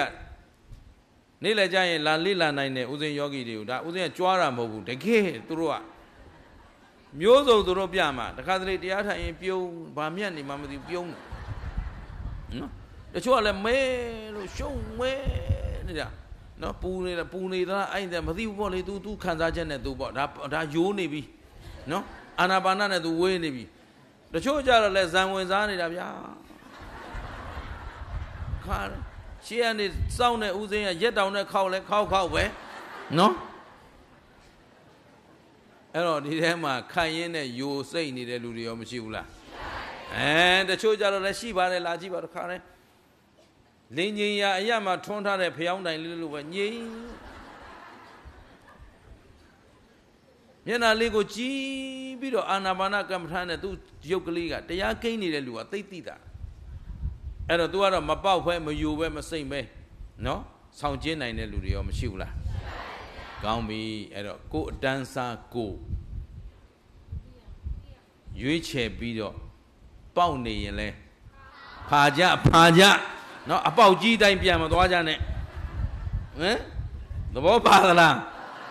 ယိုနေစိတ်နေရင်လဲအဲအဲ့ဒါအဲ့ဒီအယိုအစိတ်ကိုတခါတည်း ကာကွယ်နိုင်အောင်ကြိုးစားကြဖို့လိုအပ်မလို့อ่ะကဲမပေါက်ဘူးမယိုဘူးမစိတ်ဘူးဆိုတော့လဲပေါ့ပေါ့တန်တန်နေကြမလားဟမ်ပေါ့ပေါ့တန်တန်နေရင်တခါကြွက်ကြသေးမလားငှဲ့ကြသေးမလားရင်အောင်မလားချင်းအောင်မလားဖြစ်ကုန်မှာပေါ့အဲ့တော့လုံနေဆိုပြီးတော့လဲပေါ့နေလို့ရှင်းသလားကောင်းပြီအဲ့တော့အခုဥပမာနှမျိုးနဲ့မြတ်စွာဘုရားမပြလိုက်ဘူးလားပြလိုက်တော့သူတော်ကောင်းတို့တွေဟာ အခုဘဝမှာ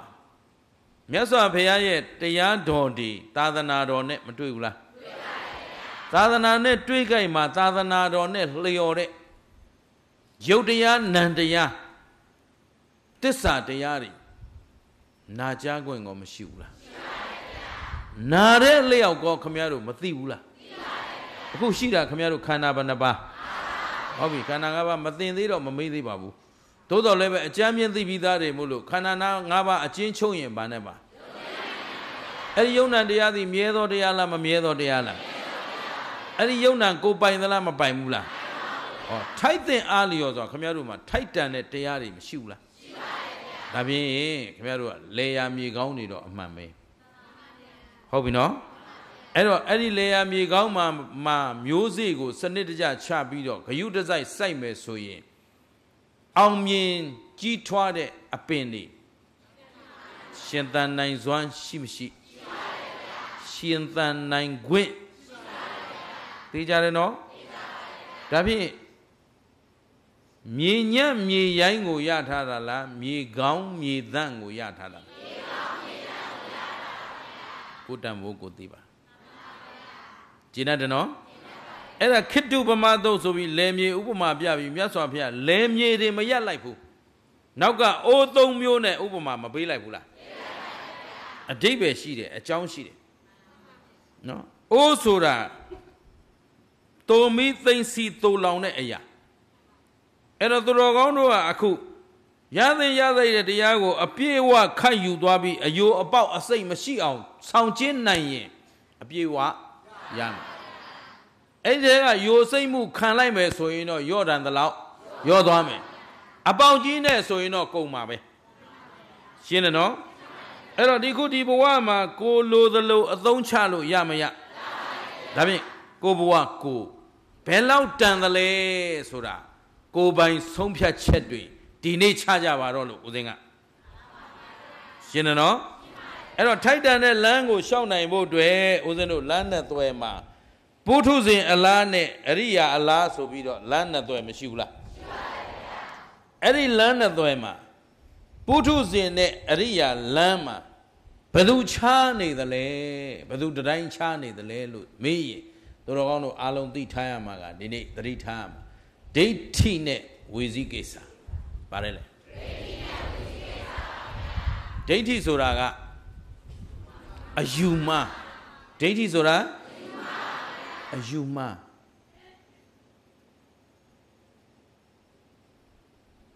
ယုံနာနှစ်ပါးခန္ဓာ၅ပါးပေါ်မှာငါငါဥစ္စာဆိုတဲ့လွဲမားတဲ့အယူဖြစ်တဲ့တက္ကာယဒိဋ္ဌိသန္တရာဒိဋ္ဌိဥဇေဒဒိဋ္ဌိအရင်ငံကောမရှိဘူးလားရှိပါ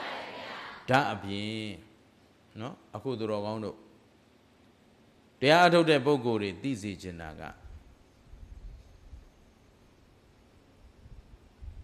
ကိုဘဝကိုတန်ဖို့ကိုကိုယ်တိုင်ရွေးချယ်သတ်မှတ်ခွင့်ရတယ်ဆိုတာကိုအမှန်မမြင်နိုင်ဘဲနဲ့လွဲမားတဲ့ကိုးကွယ်မှုတွေပေရင်အာကိုယရယာအာကိုဓာတ်ရိုက်တတ်ဆင်အာကိုနတ်ဒီအာကိုဘိုးတော်ဝိဇ္ဇာဇောကြီးတပတိအာကိုဒီလိုရောမရှိဘူးလားရှိပါပါဗျာ အေးဒီပုဂ္ဂိုလ်တွေဟာအယူမှန်တဲ့လူတွေလားအယူမှားတဲ့လူဒါကံကံဤအကျိုးလောက်တော့အမြင်မှန်မရှိတဲ့ပုဂ္ဂိုလ်နော်အဲ့တော့အဲ့ဒီပုဂ္ဂိုလ်တွေဟာမြေလွတ်မြေရိုင်းမြေညံ့နေနဲ့တူတယ်အိုးပေါက်အိုးခွဲကြီးနဲ့တူတယ်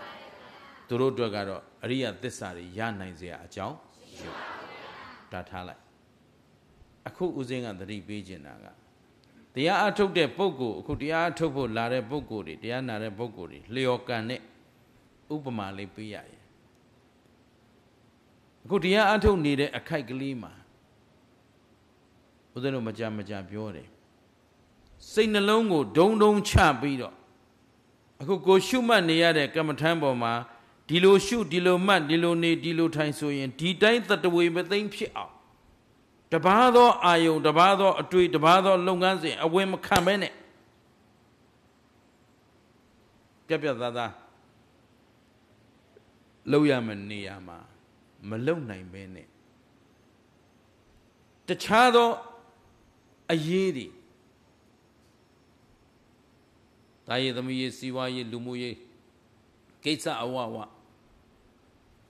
နှလုံးသွင်းလွဲချော်နေတာတွေမရှိဘူးလားရှိပါဘူးအေး အဲ့ဒီလွဲချော်နေတယ်ဆိုတာအဓိကအဲ့ဒီအယူမှားကြောင်ပဲ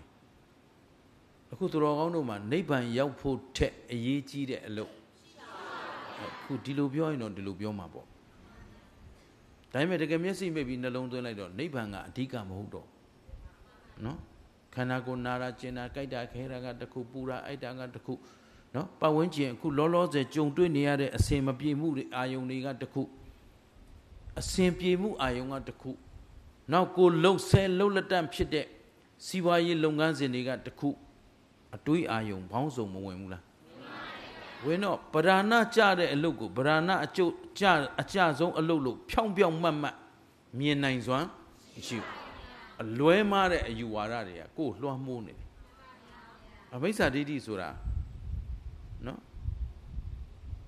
ကံကံအကျိုးကိုယုံကြည်တာလောက်မယုံကြည်တာလောက်တင်ပြောနေလို့မရဘူး အာထုတ်ချင်းနဲ့လွဲချော်မဲ့အလုပ်တွေလာပြီဆိုကြတဲ့ခင်ဗျားတို့မှာအယူမှားတွေရှိနေပြီလို့ဒီလိုနှလုံးသွင်းရမယ်အဲ့တော့အဲ့ဒီအယူမှားကိုကြော်လွှားနိုင်တာကအမြင်မှန်ပဲရှိတယ်ဘာပဲရှိတယ်အဲ့တော့အခုဒီနေ့တန်ဖိုးတရားကိုဘာလို့ဟောရတယ်လဲဆိုတော့ငါတို့သည်မဖြစ်မနေတရားအထုတ်ဖို့ဒီမှာရောက်လာပြီဆယ်ရက်တာဆုံးဖြတ်ချက်ချပြီးပြီ ကဲဒီကနေကိုယ်သားရဲ့သမီးရဲ့ပူနေလို့ရောထူးသလားထူးပါဘူးကြောင်းကြနေလို့ရောထူးသလားထူးပါဘူးအခုဒီမှာစိတ်ကူးရင်တွက်ချက်နေလို့ရောထူးသလားမထူးတော့ခုနကနိဗ္ဗာန်ရောက်ဖို့အတွက်ကိုယ်စိတ်ကလေးတည်ကြည်ဖို့အခုဆိုရင်ဦးဇင်းတို့တတိပဋ္ဌာန်တရားစနေပြီ။ဘာစနေလဲ။ဝင်လေသည်အဲ့ဒါကာယ ानु ပဒနာတတိပဋ္ဌာန်ခေါ်တာပဲ။နော်။တတိ နော်အောက်မိတာဝင်လေတိုင်းသိရမယ်ထွက်လေတိုင်းသိရမယ်။ပဋ္ဌာနာနော်သူကအရေးကြီးဆုံးဗราဏအလုတ်ပဲလို့ငါမှဒီအလုတ်ထက်အရေးကြီးတာမရှိဘူးလို့ဒုံဒုံချလိုက်တာနော်အဲ့ဒါဒီအယူမားကြီးကိုကြော်လွှားလိုက်တာအရိယာလမ်းအတွက်အခုခမရတို့ဒီတန်းနှလန်းကြားထဲမှာဟောဒီဒိဋ္ဌိကခမရတို့ကိုစီးချပိတ်ထားတယ်အလုံးလုံးနေရင်းနဲ့ ဒီဒိဋ္ဌိကတ်လာရင်ကိုဒီမှာကြည့်သူ့အယောင်ကိုကအရိယာလမ်းဘက်သွားမလားပုထုဇဉ်လမ်းဘက်သွားမလား तू ကပုထုဇဉ်ဘက်ကိုခေါ်မှာသူ့ကိုဖယ်ရှားနိုင်မှပဲရောက်မှာကျင်တ်သလားအဲ့တော့ကိုတန်ဖို့ကိုသိဆိုတာလွဲမားတဲ့လမ်းစဉ်ပေါ်ကိုလွဲမားတဲ့အလုပ်တွေလက်ကင်ထားပြီးတော့လိုက်သွားမယ်ဆိုရင်ကိုသည် တန်ဖိုးရှိတဲ့လူဖြစ်သွားမလားတန်ဖိုးမဲ့တဲ့လူဖြစ်သွားမလားအဲကိုတန်ဖို့ကိုသိဆိုတာခင်ဗျားတို့မျက်လုံးမိတ်ပြီးတော့ကိုယ့်ဟာကိုယ်နှလုံးသွင်းနေတာဒီရှိရစောင့်ကြတဲ့လူတွေသိမလားမသိပါဘူးဦးဇင်းတို့ဆရာသမားတွေသိနိုင်သလားမသိနိုင်ဘူးကိုစိတ်ကိုကိုကိုလန်းကိုကိုလန်းကိုရှောက်နေတာပဲဒါပေမဲ့အခုဦးဇင်းတို့မှာကလမ်းမကနေဆွဲထုတ်ပြီးတော့လမ်းမှန်ရောက်အောင်ပို့ပေးဖို့ဦးဇင်းတို့တာဝန်ရှိတယ်လမ်းမှန်ပြပေးဖို့တာဝန်ရှိတော့ ပြပေးရမယ်လမ်းပြသူရဲ့တပည့်သားပြီးပြီးလမ်းပြပေးရမှာဦးဇင်းတို့တာဝန်တဲ့အောင်ရှောက်ဖို့อ่ะရှင်းသလားအဲ့တော့တရားအထုတ်နေစဉ်အခုဒီကာလအတွင်းမှာဒါဒီကာလတကယ်တော့ဦးဇင်းကသတိပေးခြင်းပါတယ်ဒီနေ့ပထမဦးဆုံးနေ့လည်းဖြစ်တယ်အဲ့တော့တရားစခန်းဝင်ယောဂီများအားလုံးကဦးဇင်းတို့သူတော်ကောင်းတို့အတွက်တရားအထုတ်ချိန်ဟာပဲအချိန်လေအေးအချိန်တိုင်းတရားနှလုံးသွင်းနေရမှာ နော်အကြောင်းအားလျော်စွာအချိန်နဲ့စွန့်စားချိန်မို့လို့နော်အနားချိန်မို့လို့တရားချလိုက်တယ်လို့ဆိုပေမဲ့တရားဆိုတာနော်ရှုမှတ်တဲ့အချိန်ကနေစပြီးယောဂီတယောက်တည်စခန်းသိမ့်တဲ့အထိတနည်းအားဖြင့်နိဗ္ဗာန်မျက်မှောက်ပြုတဲ့အချိန်ထိတရားကိုချထားเสียအကြောင်းမရှိဘူးဝါဟာရအသုံးနှုံးရတရားချမယ်ဆိုတာအရိယာပုဂ္ဂလေးပြင်ပြီးတော့ထမင်းစားတဲ့အလုပ်လုပ်လိုက်ပါဦး အဲ့တော့ထမင်းစားတာလဲဘာလုပ်ဖို့လို့တရားမှတ်ဖို့ပဲဤသည်စားပွဲအမဲမဲကိုဆိုတာနားထောင်ကောင်းအောင်ဆိုနေတာမဟုတ်ဘူးကိုနှလုံးသွင်းကဒီစားနေတာလဲထမင်းတလုတ်ပြီးတလုတ်ဒါကာယကတာတတိဆိုရင်နေတာလဲသိတယ်ယူတာလဲသိတယ်ခွန်းတာလဲသိတယ်ဝါတာလဲသိတယ်မျိုးတာလဲသိတယ်ဒါကာယကတာတတိတွေပဲကာယ ानु ပဒနာတတိပဋ္ဌာန်ပဲရှင်းသလားအခုတော်ကောင်းတို့မှတ်နေတဲ့ဝင်လေသိထွက်နေတဲ့သိရနေ သွားရင်သွားမှန်းသိထိုင်ရင်ထိုင်မှန်းသိလှုပ်ရင်လှုပ်မှန်းသိငြိမ်ရင်ငြိမ်မှန်းသိဆိုတာအဲ့ဒီအလုပ်တွေအကုန်လုံးဟာကာယကတာတတိတွေပဲအဲ့တော့ဒီတတိပေါ်မှာပဲနှလုံးသွင်းပြီးတော့ကြံတဲ့အရေးကိုဒုံဒုံချထားဖို့ဦးဇင်းတို့ကိုတန်ဖို့ကိုမြင့်တင်ပါရှင်းသလားကဲတကယ်တော့ဘယ်အရေးကိုပိုင်သလဲတိုင်းရသမီးရဲ့စီဝါရေးပူနေလို့အကျိုးရှိလားသဘောပါသလားမပူလို့ရောပျက်စီးသွားမလား ပျက်စီးပါဘူးသူ့အကြောင်းနဲ့သူဖြစ်ချိန်တိုင်းရင်ပြက်ချိန်တိုင်းရင်အဲ့တော့ဒါတွေကိုဒီချိန်မှာစွန့်လွတ်ထားနိုင်အောင်ကြိုးစားဖို့လွမ်းတယ်အဲ့တော့ဒါသူတော်ကောင်းတို့ရဲ့ဓာတ်ခံတွေကိုမြင့်တင်ပေးတာအဲ့တော့ပေါက်နေရင်လည်းအဲ့ဒီအိုးပေါက်ကိုဘာလုပ်မလဲဖားမယ်ယိုစိတ်နေရင်လည်းအဲ့ဒီယိုစိတ်မှုကိုဖားရမယ်ကာကွယ်ရမယ်ရှင်းသလားဒါကိုမြတ်စွာဘုရားရှင်ကိုရောမြတ်ကြီးကခိတ္တုပမာသုံးမှာဥပမာပေးပြီးပြောလိုက် အဲ့တော့တကယ်လမ်းမသွားတာကဟောဒီဒိဋ္ဌိဆိုတဲ့ငါကိုငါဟာငါဥစ္စာပြန်ပြောအဲ့တော့အရင်ကံအဖြစ်အလုံးကြားဖို့ပြီးသားသက်ကာယဒိဋ္ဌိဗာဒိဋ္ဌိသက်ကာယဆိုတာအရှိတရားဒိဋ္ဌိဆိုတာအယူမှားအရှိတရားပေါ်မှာအယူမှားတာကိုဘာခေါ်လဲသက်ကာယဒိဋ္ဌိတကယ်ရှိတာခင်ဗျားတို့မှာယုတ်တရားနဲ့ယုံနာနှစ်ပါးပြင်ပါရှိသေးတော့ ဘာမှမရှိဘူးဒါပေမဲ့အဲ့ဒီယုံနာနှစ်ပါးကိုပဲယောက်ျားပဲမိန်းမပဲပုဂ္ဂိုလ်ပဲတတ္တဝါပဲမခေါ်ဘူးလားခေါ်တယ်အဲ့ဒီအခေါ်သည်သမုဒိသစ္စာဘာသစ္စာသမုဒိသစ္စာဆိုတာသူ့နာမည်မှာကိုပါပြီးသားသမုဒိခေါ်ဝေါ်သမုတ်ယုံသစ္စာမှန်တယ်ခေါ်ယုံလောက်မှန်တာယောက်ျားမို့လို့ယောက်ျားလို့ခေါ်တာမှားသလားမှုသားဖြစ်သလားရိုင်းသလား မိမမို့လို့မိမခေါ်တာမှုသားဖြစ်သလားမဖြစ်ဘူးဒါပေမဲ့တကယ်အမှန်တရားကယောက်ျားမိမလားပါလဲယုတ်တရားနဲ့နန္တရားရှင်းတယ်နော်အဲ့တော့တကယ်အမှန်အစစ်ကယုတ်တရားနဲ့နန္တရားသို့တော့အခေါ်အားဖြင့်ခေါ်ပေါ်သုံးဆွဲတာအဲ့တော့အခေါ်နဲ့အရှိအမှန်သိဖို့လိုအပ်မလိုအပ်အဲ့ဒီအခေါ်ရှိချမ်းမှအမှန်သိမှဒီဒိဋ္ဌိကိုကျော်လွှားနိုင်မှာအဲ့တော့အခုတရားအထုတ်နေတဲ့အချိန်ဒီ အခေါ်နောက်လိုက်ရမှာလားအရှိနောက်လိုက်ရမှာရှင်းသလားအဲ့တော့အခုတို့တို့တွေဦးဇင်းတို့တော်ကောင်းတို့အတွက်နော်ဒီ body back ခိယဆိုတဲ့နိဗ္ဗာန်မဲ့ဖို့ကိုရောက်ဖို့အတွက်အရိယာလမ်းကြီးကိုတက်လန်းတော့မယ်ဆိုရင်အရေးအကြီးဆုံးနံပါတ်1တတိပဋ္ဌာန်တရားဘာတရားတတိ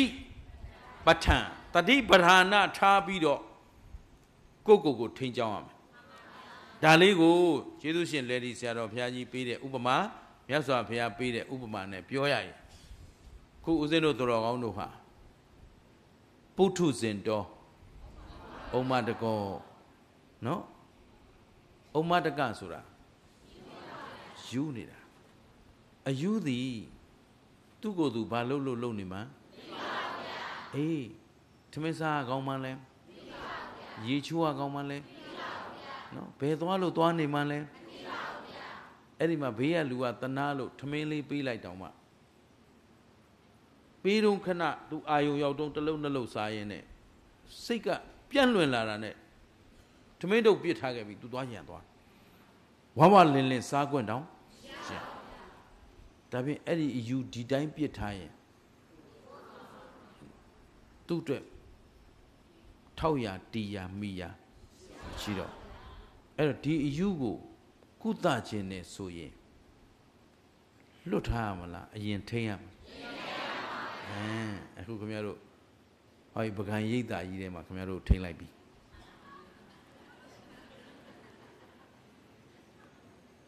ရှင်းတယ်နော်9နာရီခွဲရင်မနေ့စာစားနော်ပြန့်လွင့်နေမှာဆိုလို့ဒါတောင်စားရင်ဟိုထသွားဒီသွားသားဆိုရှိသေးတယ်မနေ့ပရိအိုးရတာစကားမပြောနဲ့နောက်ကနေကြောင်းပေးနေရတာဘာလို့ဆိုတော့ အယူတွေနော်အိမ်မှာထမင်းစားရင်ခင်ဗျားတို့ဖြောင်းသလားဖြောင်းတယ်လီဖုန်းလာတယ်လီဖုန်းထားပြောပါဇက်ကဘလို့ဘလောင်းတယ်မလို့ဘာဖြစ်ညာဖြစ်မလို့သူ့ကိုယ်သူဒီထက်အရေးကြီးတာတွေမရှိဘူးနော်ရေထတော့ရတာနဲ့ဟိုဘက်သွားလိုက်တာနဲ့ခါစားနေစားနေတာဘယ်ရောက်သွားမှမသိဘူးတခါတလေကိုထမင်းကိုမလို့ထမင်းဘယ်ကစားလိုက်မှန်းတော့မသိဘူးတဲ့ဆိုတော့ပါပိတ်ရိုက်လိုက်ဖို့ပဲကောင်းတယ်ဘယ်ကစားထမင်းကဘယ်ကစားသေးလို့သဘောပါလားမလို့သူ့ကိုယ်သူယူချောင်းကိုကြွားတာဟမ် အဲ့ဒါလူလောကအလယ်မှာတော့မလေး तू ကအလုတ်သိမ့်များတာဆိုရင်ပြုံးပြုံးပြုံးပြုံးတဲ့ဟမ်သဘောပါတယ်နော်အဲ့တော့အယူကိုလွတ်မြောက်ဖို့ဆိုရင်အရင်ဆုံးချုပ်နှောင်လိုက်ရတယ်သူ့ချုပ်နှောင်ပြီးတော့မှထိန်းချောင်းပြီးမှသူ့ကိုထမင်းချိန်တန်ထမင်းရေချိန်တန်ရေစနစ်တကျတိုက်ကျွေးသွားတော့မှဒီအယူသည်ဝဝလင်းလင်းစားခွင့်ရမယ်အခုလည်းခင်ဗျားတို့ကျွတ်တို့ဖြစ်စင်ရဒါပဲ အခုတရားရည်အမြိုက်ဆေးသည်အယူပြောက်ဆေးမဟုတ်လားအဲ့တော့ဆေးဆိုတော့ယောဂတဲ့နဲ့မတည့်ဘူးဗျ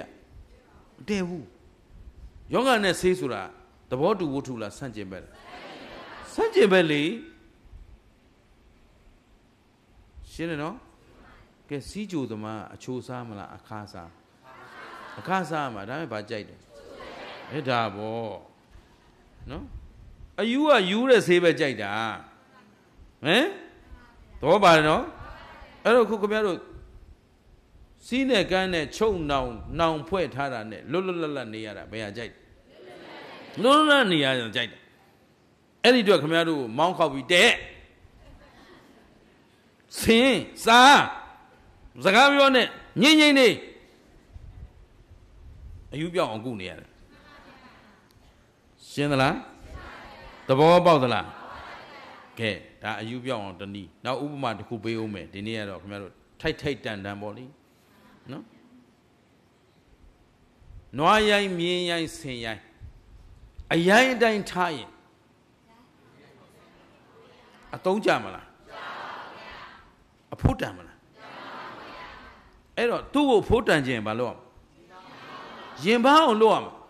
ရင်ပန်းအောင်လုပ်မယ်ဆိုရင်အရင်ဆုံးဘာလုပ်ရမလဲ ထိန်းချောင်းရမှာဆင်ဆိုရင်လည်းထုကတ်နော်နွားဆိုရင်လည်းနဖားကြိုးထိုးမလုပ်ရဘူးလားလှုပ်ပြီးတော့မှသူ့ကို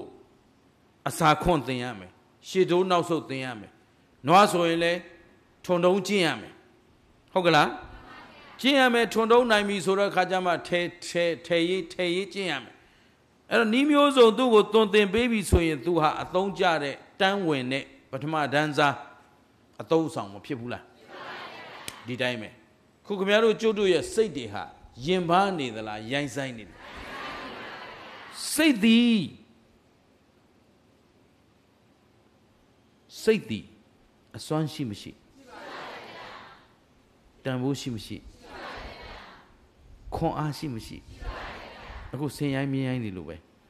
နော်နွားရိုင်းနေလို့ပဲနွားမှာလည်းထွန်နိုင်ထဲနိုင်သဲနိုင်ပိုးနိုင်တဲ့အင်အားတွေ ရှိတယ်အရိုင်းအတိုင်းထားတော့သုံးလို့ရှင်းတယ်နော်အခုလည်းခမရတို့စိတ်ဟာဘယ်လောက်စွမ်းသလဲဆိုရင်အမြင့်ဆုံးပြောလိုက်ရင်နိဗ္ဗာန်တောင်မြင်နိုင်တယ်ဗျခင်ဗျားတို့စိတ်ကလေဘာတောင်မြင်နိုင်တယ်အဲ့ဒီကနေတခါတည်းပထမဇန်ဒုတိယဇန်တတိယဇန်ဆိုတဲ့ဇန်တွေရောဝင်စားလို့မရဘူးလားဟဲအဘိညာဉ်လို့ခေါ်တဲ့ပုပ္ပေနိဝါဒအဘိညာဉ်ရှေးဘဝနောက်ဘဝတွေမြင်နိုင်တဲ့စွမ်းအားတွေရောဒီစိတ်မှာရှိမရှိ အေးဒါပေမဲ့ခုခင်ဗျားတို့စိတ်ကအဲ့ဒီပုပ္ပေနိဝါဒဆိုတဲ့အတိတ်ဘဝတွေရောမြင်လားဒိဗ္ဗစက္ခုဆိုတဲ့နတ်နတ်တို့ရဲ့မျက်လုံးကဲ့သို့တောချတောင်ချကဘာချမြင်သလား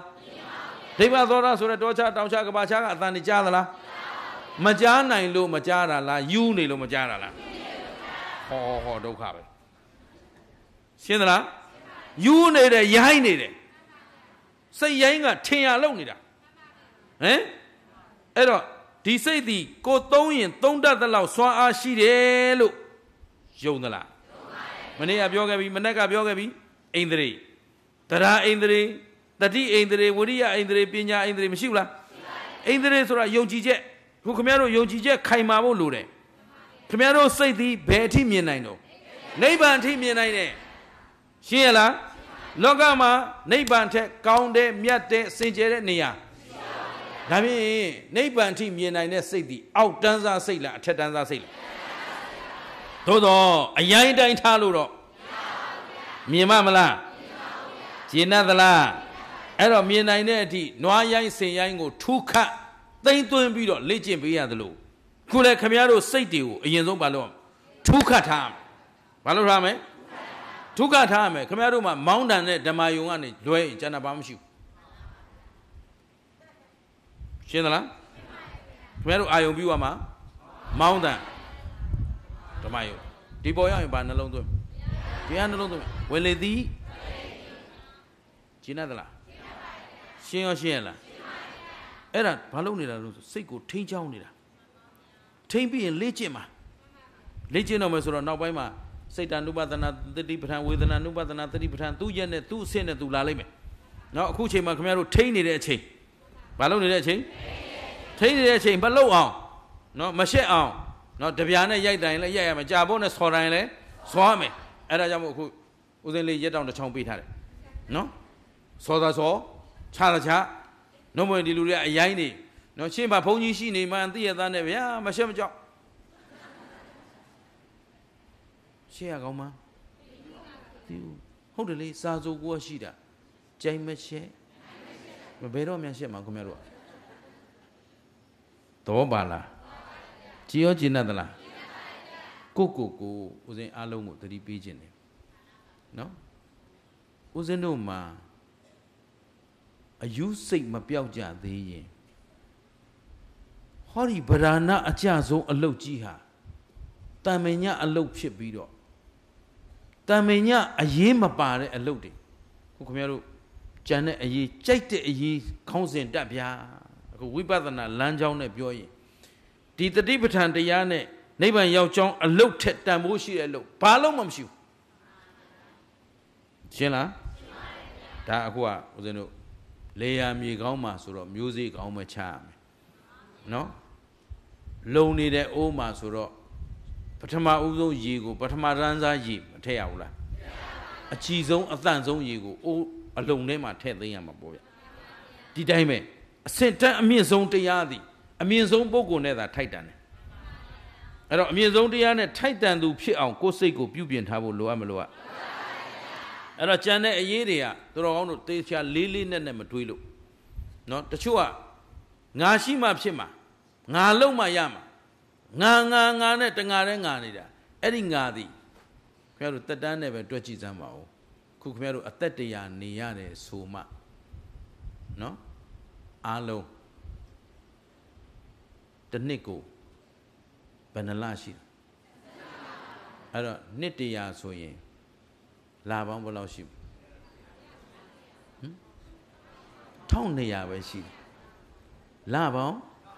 1200 1200ဆိုတော့အပတ်နဲ့ပြောလိုက်ရင်စနစ်လေးလီ40 48အပတ်ပေါင်း4800ပဲရှိတယ်ဒါရာသီဥတုနဲ့မပြောလို့ရာသီဥတု3ပါးနဲ့ဆိုတစ်နေ့ကိုဥတု3ပါးရှိတယ်ဆိုရင်ຫນွေမိုးဆောင်း3ပါးနဲ့ရှိပြောရင်အသက်တရားဆိုရင်ဥရု300ပဲနေရမယ်ကြည်စမ်းနော်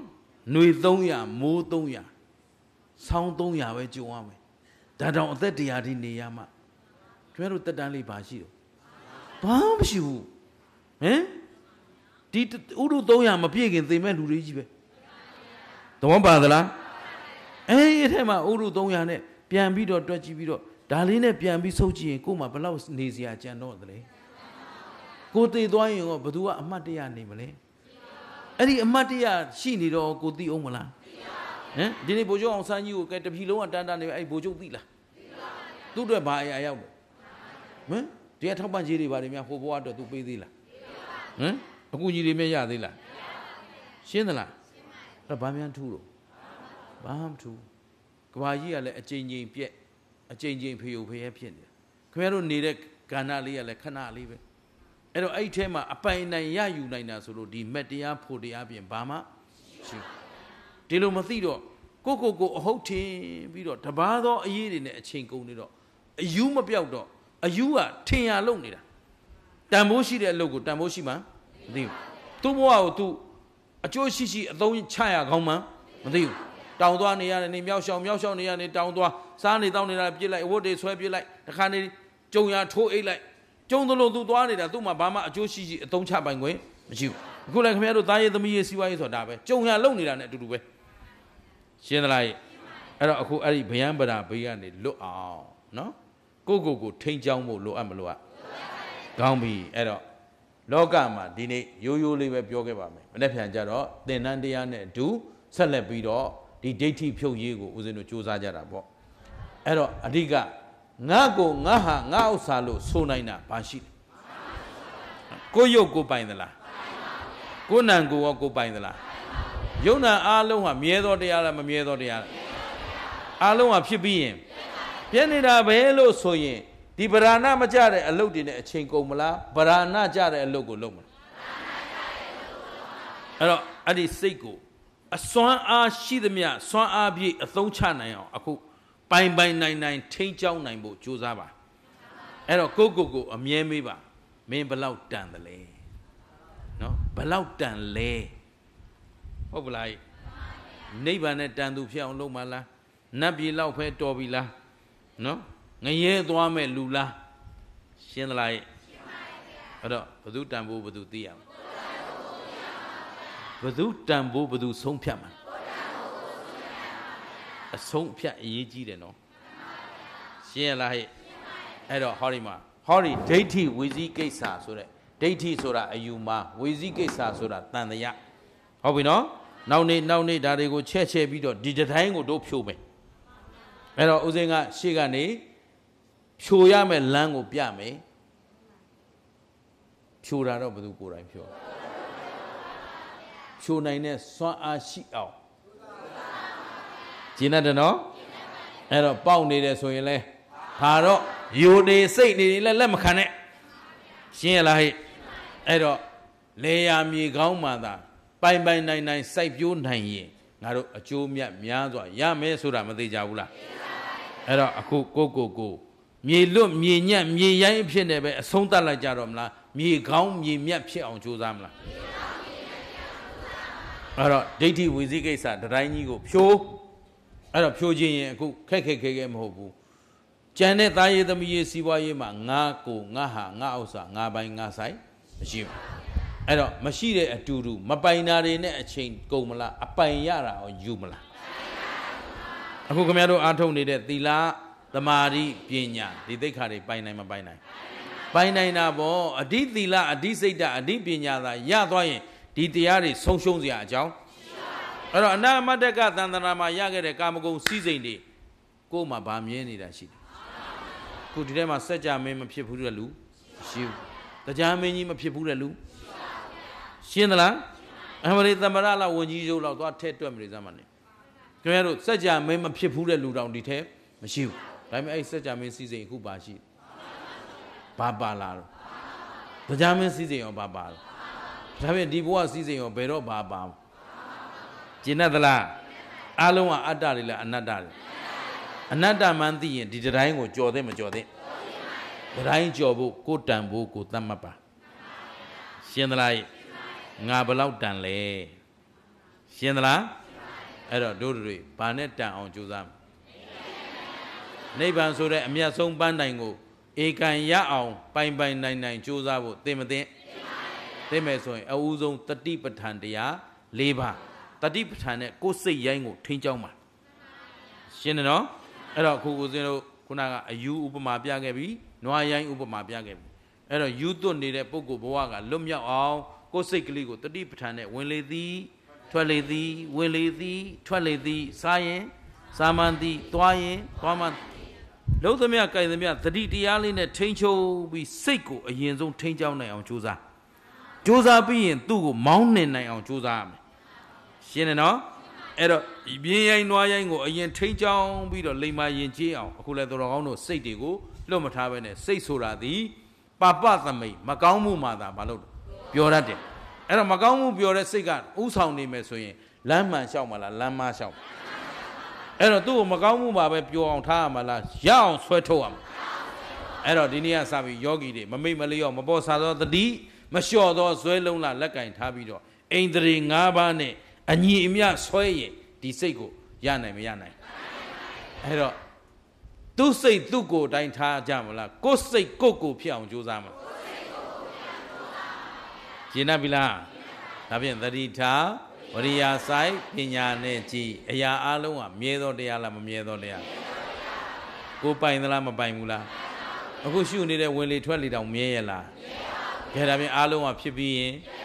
ကဲဖြစ်ပြီးပြတ်တာပါသစ္စာသိတဲ့ဉာဏ်ကသေတာကနောက်ခန္ဓာမလာတာကသစ္စာဘယ်နှချက်ကိုက် အေးကဲသစ္စာ၄ချက်တပြိုင်တည်းကိုက်မှသာလျင်တန်တရားဝတ်တွင်းကလွတ်ကင်းနိုင်မှာဖြစ်တဲ့အတွက်မမိတ်မလျော့မပေါ့ဆသောတတိမလျှော့သောဇွဲလုံးလာဝရိယလက်ကင်ထားပြီးတော့ဒီဘဝဒီခန္ဓာမစွန့်ကြခင်ကိုတန်ဖို့အမှန်ကိုသတ်မှတ်နိုင်အောင်ကြိုးစားကြပါလို့လေးစားစွာနဲ့တိုက်တွန်းရင်းနဲ့နားကြစို့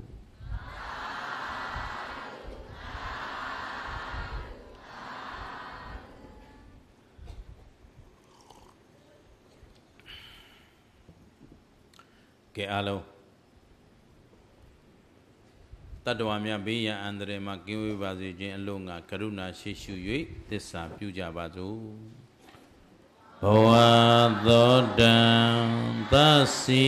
ဗုဒ္ဓဒိဋ္ဌ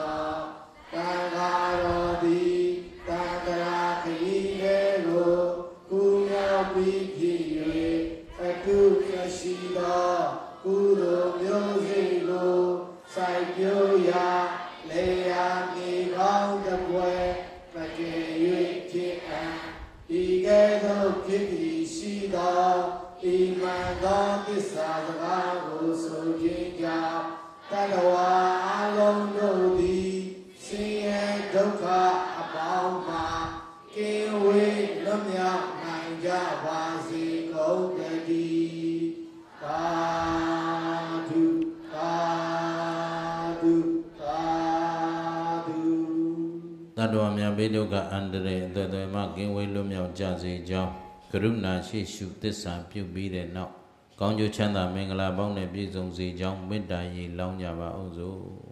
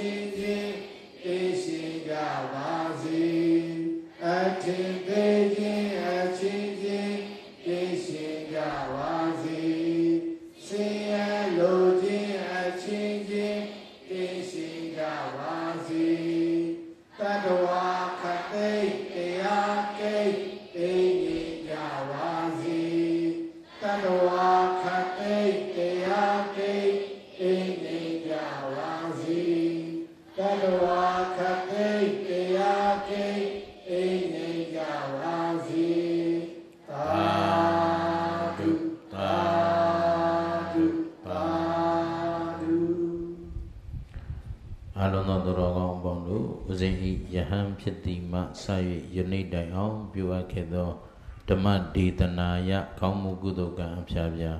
အနတ်မတ္တကသန္တရာမယနေ့တိုင်အောင်ဖြစ်ခြင်းစီးပူးခဲ့သောဒါနသီလဘာဝနာကောင်းမှုကုသိုလ်အဖျားဖျားဗုဒ္ဓသာသနာအကျိုးဆောင်လုပ်ငန်းသူမင်္ဂလာမိသားစုများမှပြုအပ်ခဲ့သောကောင်းမှုကုသိုလ်အဖျားဖျားတို့အားယနေ့ကြွလာယောဂီသူတော်စင်အပေါင်းတို့နှင့်တကွာမြန်မာနိုင်ငံတွင်မိတိနေထိုင်ကြကုန်သောလူနာများစွာတတ္တဝါတို့အားအစထား၍ ကုသိုလ်အမြတ်ပေးဝေငှပါ၏အာလုံးသောသူတော်ကောင်းအပေါင်းတို့သည်ကောင်းမှုကုသိုလ်အဖို့ဘာကကိုအမြတ်ရကြကုန်သည်ဖြစ်၍မသူတော်တရားဘေးအယူမှားသောဘေးမှအမြန်ဆုံးကင်းဝေးလွတ်မြောက်နိုင်ကြပါစေကုန်သတည်းသာဓုသာဓုသာဓု